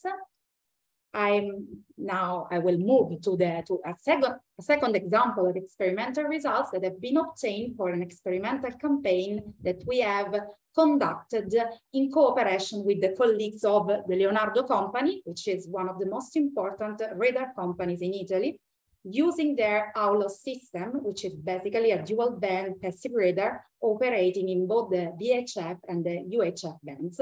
Specifically in this case, I will focus on the results obtained for a DVB-T-based uh, passive radar, so a passive radar that exploits OFDM signals of opportunity. So the tests were conducted in a military airport in Pratica di Mare, uh, using a transmitter of opportunity that was located about 30 kilometers far away from the receiver site. Several tests were conducted against both the air traffic of opportunity to demonstrate the long-range surveillance capability of the system, but also additional tests have been conducted to demonstrate the capability of protecting the airport area against the threats carried by commercial drones. So in all these tests, we have simultaneously collected the signals from two different DVB-T channels and three antennas were employed on receive with different spacing so as to uh, synthesize a kind of non-uniform linear array. So in this case, we had the chance to test for both uh, spatial diversity and frequency diversity, and again, their combinations. So I think these are the most interesting results to show, the ones obtained against the two drones. Uh, so in these slides, uh, I am reporting the results obtained for two different tests. The first test figure on the left uh, is uh, for a case where the, the drones flew at a maximum, maximum distance of 1.7 kilometers from the receiver. The second test is for a larger distance, up to three kilometers from the receiver, which was basically the limiting area of the airport surface. In both figures, the continuous line report the GPS-based air truth for the two drones in green and red respectively, while the dots are the results of the passive radar, which in this case are mapped into the local Cartesian coordinates thanks to the availability of the angle of arrival information for the detected targets. And as you might observe, the figure on the left clearly shows the capability of continually detecting the two drones along their tracks and also a reasonably good capability of localizing them in the airport surface. But in contrast, the performance degrades in the second test, where the targets flew at a larger distance. So obviously the signal to noise ratio is reduced and the accuracy in positioning uh, reduces accordingly. So in this case, however, we are exploiting just one of the two available DVB-T channels and only two, a pair of surveillance antennas which were displayed at a distance that was larger than half the wavelength, which also explains these ambiguous plots arising here, which corresponds to mispositioning of some of the detected targets due to the limited non-ambiguous angular sector that can be obtained with this setup. So in this case, we try to exploit this diversity of information conveyed by the two DVB-T channels together with the three available surveillance antenna uh, arranged in a non-uniform uh, linear array uh, layout. So I, I can go back and move on again in order to let you uh, appreciate the improvement, both in terms of detection capability but most in, mostly important in terms of localization accuracy uh, obtained with this approach. And I and also the, the misposition and the plots have been uh, removed and properly localized thanks to this uh, diverse spatial diversity and frequency diversity. So actually we, are kind of using a frequency diverse array offered by the uh, different transmissions at different carrier frequencies. So I want to recall that here we are talking about very small drones that were flying three kilometers far away from the receiver side. So we think that this was a very good result. And it's nice here to watch the movie that we have recorded during the entire acquisition, where we can clearly see the capability of the system to continuously track the two uh, drones. What's interesting in this movie is that together with the tracks of the two drones colored in this case, uh, we also have several additional tracks in gray. Maybe you can appreciate them in this movie.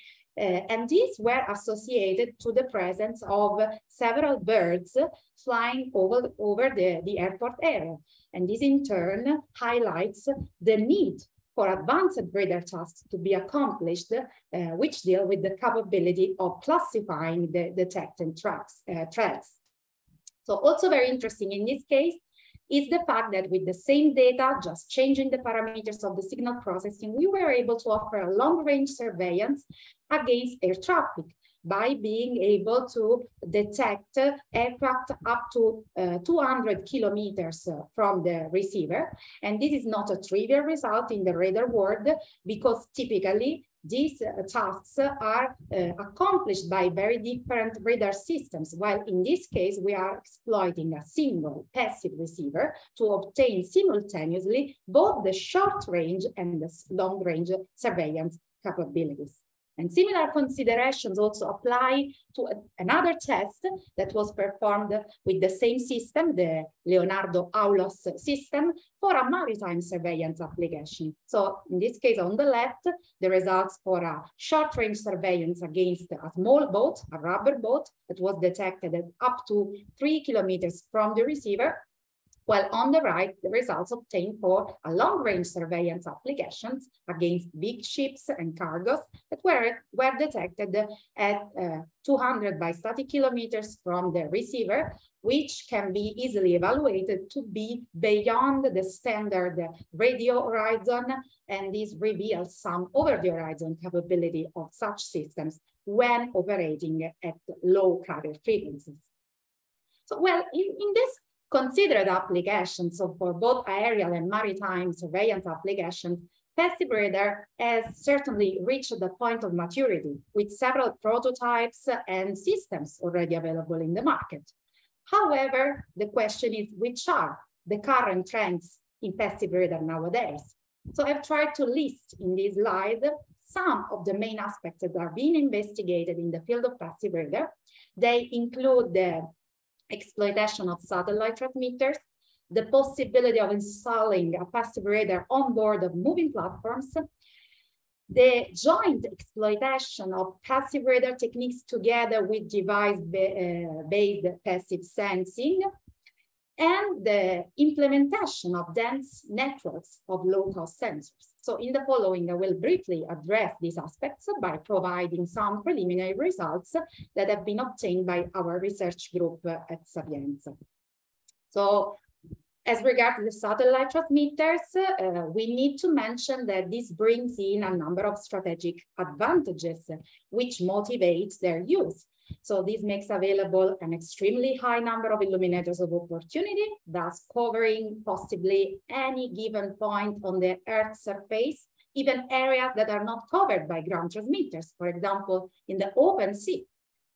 And this also allows a number of potential applications, such as the protection of infrastructures with low vulnerability, the synthetic aperture radar imaging, and others. So Obviously, there are several challenges that have to be faced when exploiting a satellite transmitter. First of all, the very low power density available on the Earth's surface, and this especially applies for the case uh, when uh, geostationary satellites are exploited, since those are uh, thousands of kilometers away from the Earth's surface. Also, the need to track the satellites might be an issue when instead satellites in the medium and low Earth orbit are exploited. So here I'm showing the setup that we have used to preliminary demonstrate the feasibility of a DVB-S satellite-based passive radar in the KU band. We have exploited a parabolic reflector to collect the reference signal from the transmitter, the satellite transmitter, while just a feed-horn was used to provide the wider angular coverage that was needed at the surveillance channel. So these are some examples of detection results reported over the range Doppler plane. The first one is for vehicular targets that were detected up to the limits of the parking area where the test was performed, so up to hundreds of meters. Uh, in this case, and okay, the second test is uh, for people moving in the parking area uh, that could be correctly detected at up to 100 meters approximately. Okay, well, in this case, you can certainly observe the spreading of the uh, detection in the Doppler dimensions that are caused by the moving target, and these were mostly recognized to be due to the micro-Doppler effects generated by the body parts of these targets. Also, we performed some tests against drones uh, using very small drones that were detected at tens of meters from the receiver. And this was a very surprising result from our side because I recall that in this case, we are using a geostationary satellite that is 36,000 kilometers away from the observed scene, and this clearly reveals the potential applications of this approach. So when addressing uh, the, the possibility of having passive radar on board of moving platforms, again, there are a number of strategic advantages in this approach, in fact, it might offer uh, covert and low-cost monitoring of wide areas. And this can be also an easy deployable surveillance system. For example, if we think about installing a passive radar on board of a UAV, for example. Again, there are specific challenges that needs to be uh, that need to be faced in this application. The most important ones are the size and weight of the system, especially when small platforms are considered, but also the impact that the platform motion has on the passive radar operation. And among these effects, for sure, the need to recover the reference signal from the moving platform might be a challenging issue, but also the fact that even the stationary scene will appear as Doppler spread due to the platform motion. And this spread in the Doppler dimension will cause several slowly moving target echoes to be totally masked by the returns of the stationary scene. Now, in this case, as well known in the radar literature, uh, we can exploit multiple antenna elements on receive to implement space-time adaptive processing techniques. However, as for the basic signal processing scheme, it is important to mention that conventional STAP approaches that are usually exploited in active systems cannot be straightforwardly applied to the passive radar case because we need to deal with the fact that the waveform is changing from fragment to fragment. So in other words, not only the scene might be changing, but also the signal itself. So we need to cope with these aspects and design appropriate techniques to be robust to this effect. So this is what we try to do. And we have uh, preliminary tested the approaches that we have proposed against the data set provided by the colleagues at the Fraunhofer Institute, FHR, in Bamberg, in Germany, where they performed an experiment using a ground vehicle as moving platform. The passive radar featured four receiving channels installed in the, on the trailer of the ground vehicle. In this case, you might see on the left the results obtained when using a single antenna on receive, and you can clearly observe the widening in the Doppler dimension of the strongest returns due to the stationary scene, which basically mask all these targets that were present in this scenario. But after the application of the proposed approach, the figure on the right, we can verify the good cancellation capability of this technique that is able to mitigate the clutter returns uh, and to preserve the echoes from the moving target, uh, thus allowing their detection. So before moving to the next point, I think it is worth making some considerations about the possible applications of passive radar on board of moving uh, platforms. Among them, I would like to mention its potentialities as autonomous driving assistance system. In fact, uh, it is well known that when active radar units are used on board of vehicles, the mutual interference might be a major safety concern, especially in very congested areas. Actually, several techniques have been devised to overcome this problem in the field of automotive uh, radar. Now, the passive radar concept inherently eliminates the problem of mutual uh, interference since it allows different radar units to share the same transmitted signal. So the exploited source might be a third-party non-cooperative transmitter as well as a dedicated signal. And considering this advantage together with the additional benefits of uh, reduced costs, reduced energy consumption, I think that there might be interest in using a passive radar in automotive applications, at least as a backup system. And if we combine this concept with the idea of exploiting satellite transmitters, it is clear that this can be also used in rural areas where such transmitter might provide their persistent uh, illumination. So the next point in my talk is the joint exploitation of the passive radar principle together with a device-based passive sensing. Uh, I uh, really like the discussion in the chat related to these two techniques, uh, and I totally agree with the uh, classification that have been proposed. So um, the approach of jointly exploiting these two techniques is very useful when the targets of interest can be assumed to carry a device that emits its signal in the same band of the passive radar. And this is because the same passive receiver might be exploited for both techniques.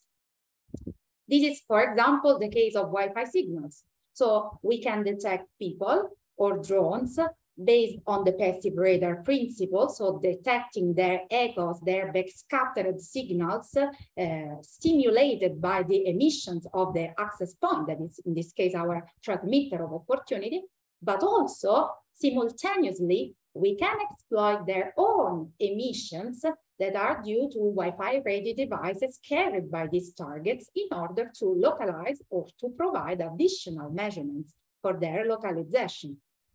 So in this case, I'm reporting some results for a Wi-Fi based passive radar developed at Sapienza University of Rome. So on the left, the movie of the test performed where two people were moving across each other, while on the right, I'm reporting the results of the localization provided by the passive radar only. So in this case, the passive radar standalone was able to correctly localize the two targets based on the backscattered signals from their bodies and discriminate the two targets since they are correctly distinguished in the range and Doppler domains. But this is not always the case. So if we look at a different test, the situation might change. So in this case, the two people start the test by moving close to each other and the resolution offered by the system is not sufficient to discriminate their presence, the presence of the two targets, until one of them changes its direction and is discriminated in both range and mostly uh, Doppler domains. So this clear, this test reveals some limitations in the passive radar approach, especially with reference to this short range application, the first one is the resolution capability can, that can be addressed by designing wider bandwidth signals, but also the fact that when our target is stationary because it stops uh, to change its direction, the passive radar is not able to detect it because it will be removed together with the returns from the stationary scene. So in order to mitigate these effects, we try to jointly exploit the uh, passive radar principle together with, the, with a device-based passive sensing. So exploiting the measurements that are provided by a passive emitter localization. These are reported for these two tests uh, as uh, red plots in these figures. The first test is for a person that was moving on this triangular trajectory and stops at each of its corners. Uh, again, these red plots represents the results of the localization obtained by exploiting the packets that its uh, smartphone uh, emits in order to connect to the uh, access point, while the blue uh, markers report the results obtained for the passive radar that instead exploits the reflections of the signals emitted, in this case by the access point, on the body of the target itself what we might notice is that when combining the two measurements, so the track reported as green in this figure, we can obtain increased uh, detection capability with additional continuity because the target can be detected both when moving and also when it is uh, stationary and also an improved capability uh, in terms of uh, localization accuracy. Um, it is important to notice that the um, smartphone, the device, the Wi-Fi device, typically transmits many packets when the target is stationary. So when the passive radar is not able to detect the target, because it is likely that it is trying to connect to the internet or downloading some files while the person was stationary. So I think that there is a lot of complementarity between these two technologies that should be exploited jointly in order to improve the performance. And a similar approach was also explored in this second test against a drone that was transmitting the video that was recorded during the test to a remote control. And again, we reported in red the results of the localization obtained using that signal emitted by the drone, and in blue, the results of a passive radar the green track is finally the one obtained when combining at a tracking stage with an appropriate technique the measurements provided by the two techniques. And again, this is the, uh, this allows the best results both in terms of detection capability and localization uh, accuracy.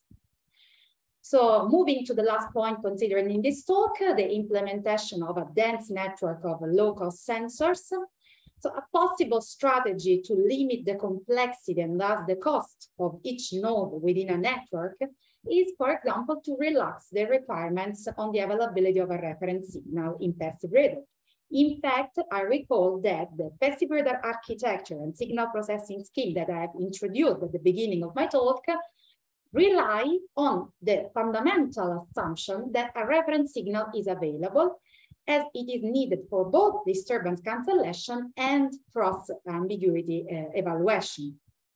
Specifically, this signal is usually collected via a dedicated wireless or even a wired link connected to an additional receiving channel. And I want to highlight that this receiving channel should be of very high quality because the reference signal has to be a good copy of the transmitted signal, but also because it constitutes a reference for time, frequency, and phase synchronization at the receiver.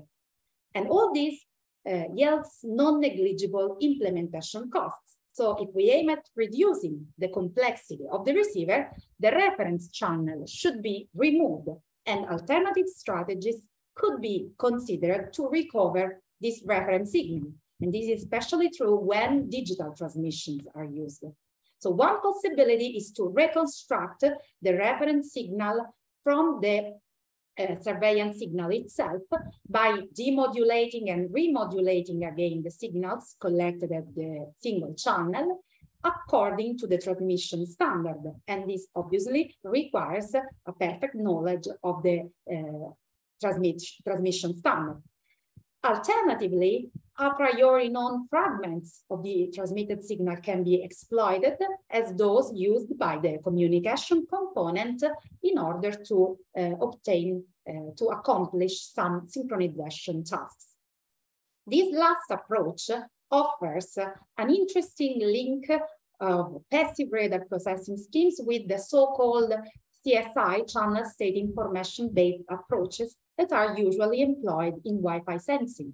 In fact, uh, if we recall that this uh, cross-ambiguity evaluation can be decomposed into the cascade of a range compression stage followed by a subsequent Doppler processing, and if we assume that a reciprocal filter is exploited based on a priori known signal fragments at the range compression stage, we can easily show that this stage is basically implemented a conventional channel estimation, which is the first step required by a CSI-based approach. And then the output of this uh, channel state uh, estimation can be sent as input to the Doppler processing in order to uh, analyze, to study the, the moving sources in the uh, environment. So this interpretation shows that uh, the passive radar processing scheme somehow generalizes the CSI-based approach uh, used in Wi-Fi sensing. On another topic, I want to highlight that regardless of the employed recovery strategy for the reference signal, if a reference uh, re uh, receiving channel is not available, some issues might arise due to the signal mismatch in the reconstruction of the signal that might lead to SNR losses. Um, also, when exploiting known fragments of the signal, this might bring some losses due to the fact that only uh, a portion of the received signals is exploited. So we are inherently limiting the, the integrated energy. But in addition, uh, some other losses might uh, arise due to a non-perfect synchronization in time, frequency, and phase. And uh, a significant effort should be made um, to recover the synchronization, but this is possible only in the presence of a strong direct signal component in the surveillance channel. So if all these effects cannot be mitigated and if the loss experienced are unacceptable, we could make a very different choice and resort to a reference-free signal processing scheme. So a possible strategy is to exploit a non-coherent processing scheme where the presence of a target is detected by extracting the amplitude the modulation that it produces on the direct signal coming from the transmitter. This approach neglects totally the phase information and only requires a very simple processing scheme, which encompasses an envelope detector followed by a low pass and downsampling stage, the removal of the zero frequency component, which is likely to correspond to the returns from the stationary scene, and a short time Fourier transform, which yields as output the typical spectrogram where the target motion is mapped into a Doppler signature that allows its detection and tracking. So this approach has been optimized for a Wi-Fi sensing system in the framework of a research project funded by Huawei. Here I'm showing the experimental results obtained in a test where a small drone was used as cooperative target. So the figure on the left showed the movie recorded during the acquisition. I'm going to start the movie, um, while the figure on the right reports the results obtained in the spectrogram uh, built for the recorded data. So as it is apparent, I don't know if you can see this small drone flying in the area, uh, we are able to detect its presence in the spectrogram as it yields this very clear uh, Doppler signature here.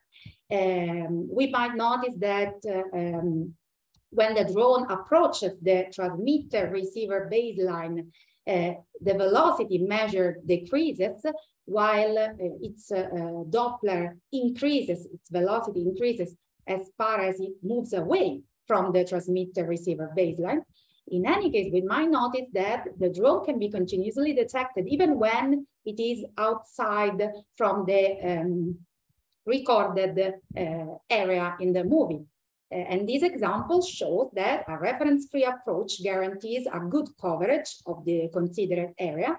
But most importantly, I highlight, I would like to highlight that uh, we are exploiting the amplitude information only of the surveillance signal. Therefore, this approach is inherently relaxing the requirements on the receiver setup since it does not need a dedicated channel to collect the reference signal and it does not require phase or frequency synchronization. It only needs a rough temporal synchronization in order to fruitfully combine the measurements that are provided by different nodes uh, when available.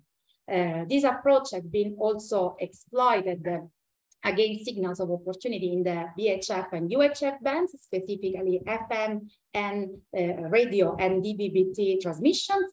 In this case, aiming at a wider coverage, the proposed approach was demonstrated to be effective only at very extreme bistatic angles, namely when the target crosses the baseline between the transmitter and the receiver, thanks to the forward scatter principle. And in addition, we observed that the exploited uh, waveform has a non-negligible impact on the performance. Uh, here, I am reporting an example against simulated data for the same test for an FM radio transmission and a DVB-T uh, transmission, and we might see that very different results are obtained. This is not only due to the change in the carrier frequency, which is responsible of, a, of the narrower response in the DVB-T case, but also it depends on the employed modulation. Specifically, the OFDM waveforms was demonstrated to yield this uh, increased background against which the targets uh, compete to be detected. So we have deployed, we have designed ad hoc techniques to mitigate these effects, and we have extensively tested them against experimental data. Here, I'm just showing an example for a test performed on the roof of our faculty. The transmitter of opportunity was located 36 kilometers away from the receiver, and the system was tested for the detection of aircraft landing to the Ciampino airport in Rome uh, such aircraft along their path cross the receiver transmitter baseline, thus yielding a B-shaped signature in the Doppler time domain, as shown in this figure, that reports the available air truth. So if we directly apply a conventional reference-free signal processing scheme, the result is quite limited as the target can be only discriminated at very low frequencies. In other words, when it exactly crosses the baseline. In contrast, with the proposed approach, uh, that takes into account the employed modulation, much better results are obtained, thus extending the area where the reference-free approach is effective.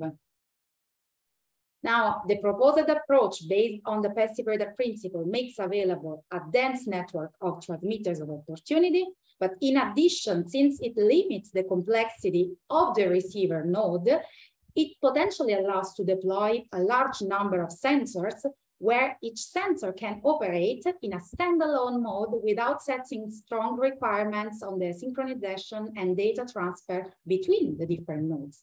Therefore, I believe that this could be an effective approach to be used uh, for wide area monitoring or in many civilian applications where the use of complex and uh, very expensive radar systems, uh, active radar systems is basically prevented. So concluding, passive radar has reached the point of maturity in several uh, surveillance applications and further developments are being made in innovative scenarios. Indeed, the research activity on passive radar has addressed and proposed the solutions for a number of issues that are expected also to be present in ISAC systems. So when the sensing and the communication components have to coexist. Uh, however, it is also expected that the flexibility provided by a joint design of two components might yield enhanced capabilities and also widen the range of uses. So this concludes my talk and thank you very much for your attention. Um, so we have received a number of questions in the chat. And uh, I think the first uh, question was asked by, uh, again, by uh, Reiner Thomä. So uh, Reiner, Reiner, can you please uh, unmute yourself? Yeah, uh, thank you very much, Fabiola, at first for your presentation. I mean, I like the comparison to passive coherent or passive radar, passive coherent localization a much uh, since uh, integrated communication sensing per se is, can, can be very close, except that it is cooperative. And passive radar normally is not cooperative between transmitter and receiver. But my, my question is a little bit more specific. Uh, in one of your early slides, I mean, I do not know exactly, know around 10 or so, you uh, compared uh, the matched filter response to the inverse filter response. And your matched filter response did show some spikes. So uh, me, I, I, I, mean, my my um, impression was that those spikes may result, yeah, I did one, uh, may result from the cyclic prefix in the uh, DVB-T OFDM signal, yeah? So yes, if you would have removed the, the cyclic prefix, it would disappear, yeah? Okay, you're totally right. So the peaks appearing here are due to some periodicity appearing in the waveform. In this case, for example, the cyclical prefix, but also the pilot tones that are responsible for periodical structures in the OFDM signal. So for sure, one possibility is to mismatch the reference signal by removing those contributions in the signal in order to control. So actually, in that case, it's not more a matched filter. It's a, like a kind of mismatched filter, but not that much. The problem is here, I want to highlight this additional problem, which is very important, I think, that whichever is the approach, even if we are able to remove those peaks, the main problem of a matched filter or similar matched filter is the fact that the output is dependent on the information content. So not only those peaks are a problem, but also all these side lobes because they are varying with time. So if we consider different fragments of the data, we will see different outputs at that stage. And this is a, a, real problem when we want to perform some cancellation because we rely on the fact that the waveform is identical and only the scene might change. But this is not the case when dealing with non-cooperative waveforms because their information content is in the change. So there is the, the, the real content, the real information for the communication component, while the passive radar has some big issues with this problem, uh, with this, uh, with this uh, aspect, because it is not able to remove perfectly the stationary scene since it is changing. The illumination is changing actually, not the yeah. not the scene. Yeah. So that's I, why. I completely agree. Yeah. Sorry. I completely agree. That's I mean, passive radar, the... uh, passive, uh, passive radar per se is normally thought to be non-cooperative. But if you are an integrated system, I mean, in case of integrated communication and sensing, integrated sensor and transmitter, so we can act in a cooperative way. And then we can do all this stuff. We need that cooperation in that case, or we can take advantage of this cooperation. Okay, yes, thank you. Please. You're welcome. Thank you for your question. Okay, thank you. So our next question uh, was from uh, Ahmed Bazzi. So Ahmed, can you please ask the question by yourself? Yes, thank you, Professor Fabiola, for the interesting talk. I just have a small question regarding the performances in slide uh, 26. Uh, you mentioned uh, non-uniform linear arrays uh, in your configuration. Do you think uh, the antenna array geometry plays a role in the performances or, or is it independent of the geometry being used? Thank you. So in this case, uh, uh, the, the, performance was largely depending on the layout we exploited for the antenna setup. So here there is a, a, figure, a, a picture of the antenna setup and exploited three antenna elements displayed according to a non-uniform linear array that was needed in order to extend the uh, the non-ambiguous angular sector that would have been obtained if using a, a, a uniform linear uh, displacement among the, the, different elements. And this is a, a, typical strategy adopted in passive radar because one of the main characteristics of such systems is the low cost.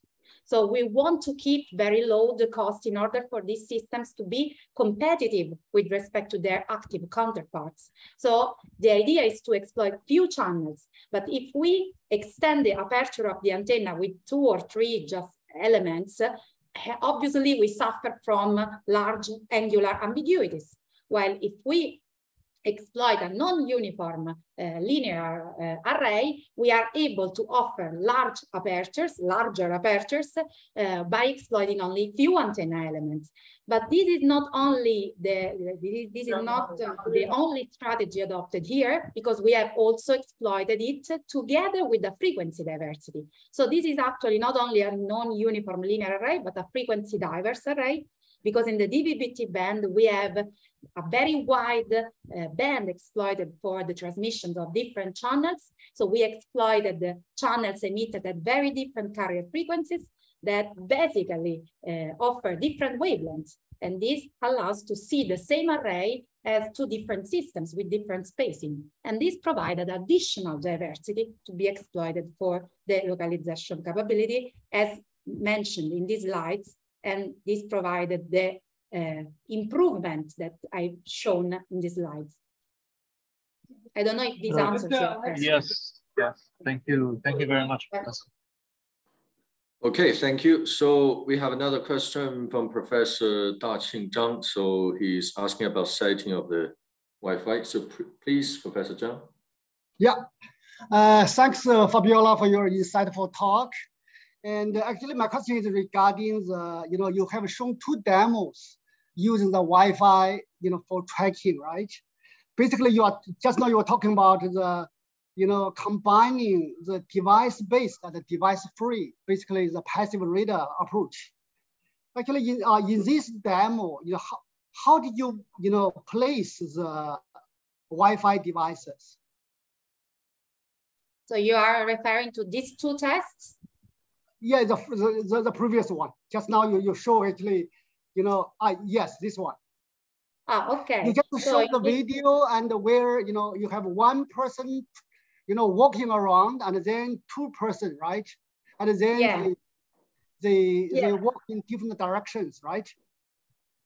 Yeah, so the position of the exploited nodes is reported in this figure on the right. So we have how, the, how many how, how many uh, we have just two two nodes, two receiving nodes one access point. one of the two nodes was mounted in a quasi-monostatic configuration, so it's very close to the uh, access point antenna and is equipped with a couple of uh, antenna elements on receive. The other node instead is displayed by several meters with respect to this node and only um, um, includes uh, features uh, one antenna element. So basically for this localization um, results, we have combined uh, angle of arrival measurements and time difference of arrival, or better, bistatic ranges provided by the, the two passive radar nodes in order to obtain the localization capability in the XY domain. But in this case, you are not using the commodity Wi-Fi devices, right?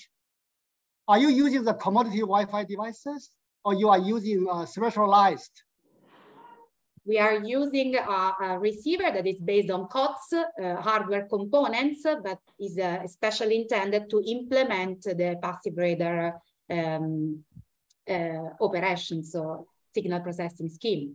Is this what you mean? Yes, it's, it's just the uh, commodity Wi-Fi devices with 5G uh, or 2.4G gigahertz so you mean that, are you asking about the transmitter or the receivers?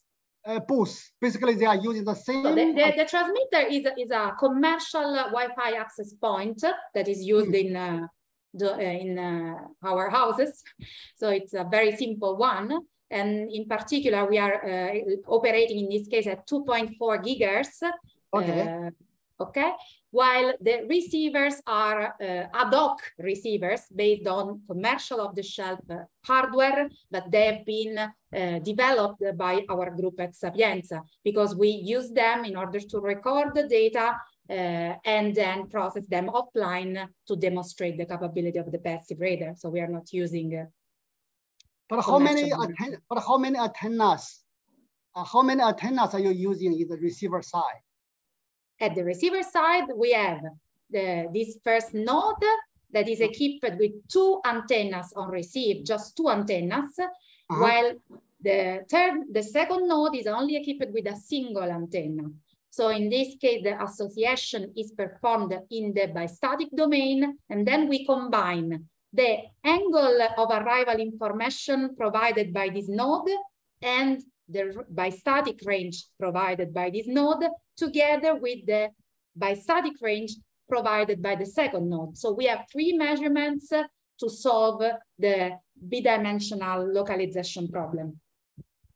And this is okay, what we have done. Okay. We have in okay. Oh, how about the other ones? The next slide, you have you, you are using both passive radar and uh, yeah. In, in this case, what's the setting for the devices?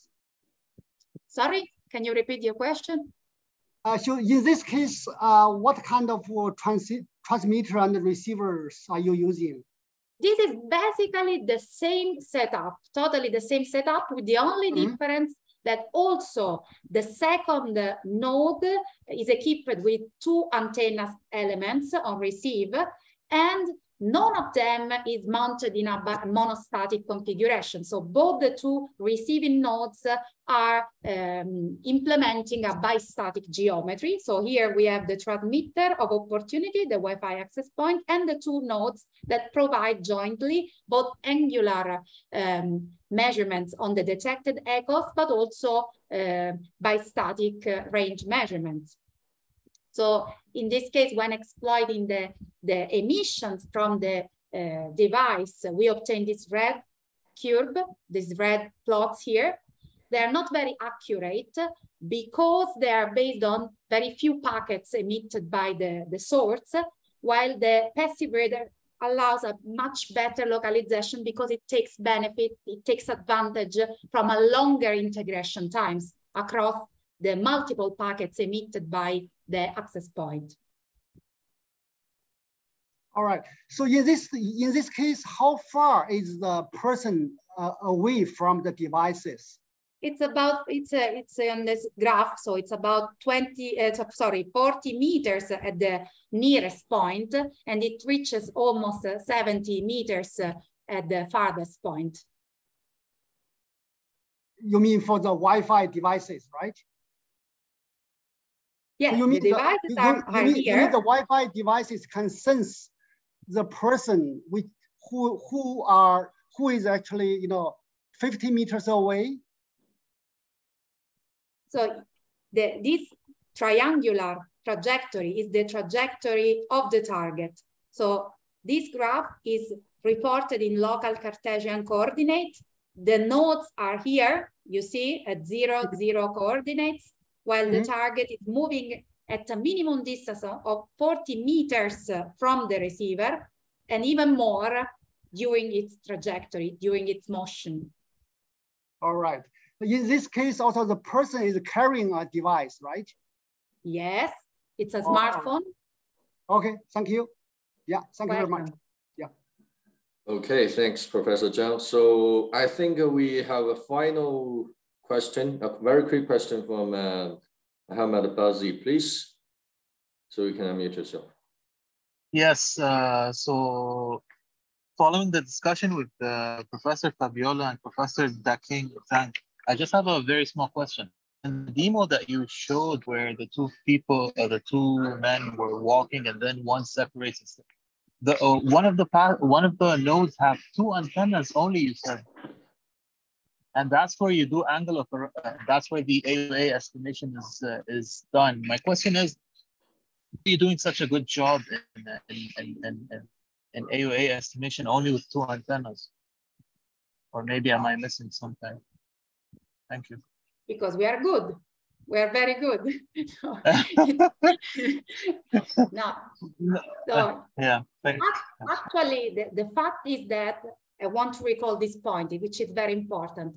In radar, in sensing, the, the idea is not to exploit the information in the signal. So you can integrate energy, you can integrate the echoes from the target. That's why we can gain the required energy needed to improve the accuracy in the localization. So if I had to mm-hmm. understand the content of a packet, I need to have a very high signal to noise ratio at each single sample of that packet. But in sensing, I have a challenging, the, the challenging issue of detecting and localizing the weak target echoes. But on the bright side, I have the capability of integrating their echoes, their energy coming from their Okay. echoes. And this allows for a better, much better uh, localization capability. Also, these results can be improved by a uh, subsequent tracking stage that was not performed here, just to show the accuracy obtained with the raw measurements, but additional information might be used about the, the considered targets to uh, drive a, a tracking stage in order to filter the measurements. Okay, thank you very much. Thank you. Welcome. Okay, thanks, Hamad. And uh, I think, uh, so obviously our audiences are highly interested in, in your demos, right, Fabiola? So yeah, so I'm if, happy about that. yeah. So if anyone of, uh, of our audiences have further questions, please uh, send emails to our speakers and then they'll be happy to answer. Okay, so with that, I would like to thank uh, Henk and Fabiola again for being here as uh, our guest speakers, and we hope to uh, host your talks in our future events. Okay, so with that, I would like to conclude our uh, seminars, and I hope all of you have a very good, uh, happy ho uh, summer holidays. And stay tuned, we will have our next season of the Webinar series from the, let's see, from the September to October. Okay, goodbye. Thank you. Thank you. Bye bye. Hi. Bye-bye. Bye-bye. Bye.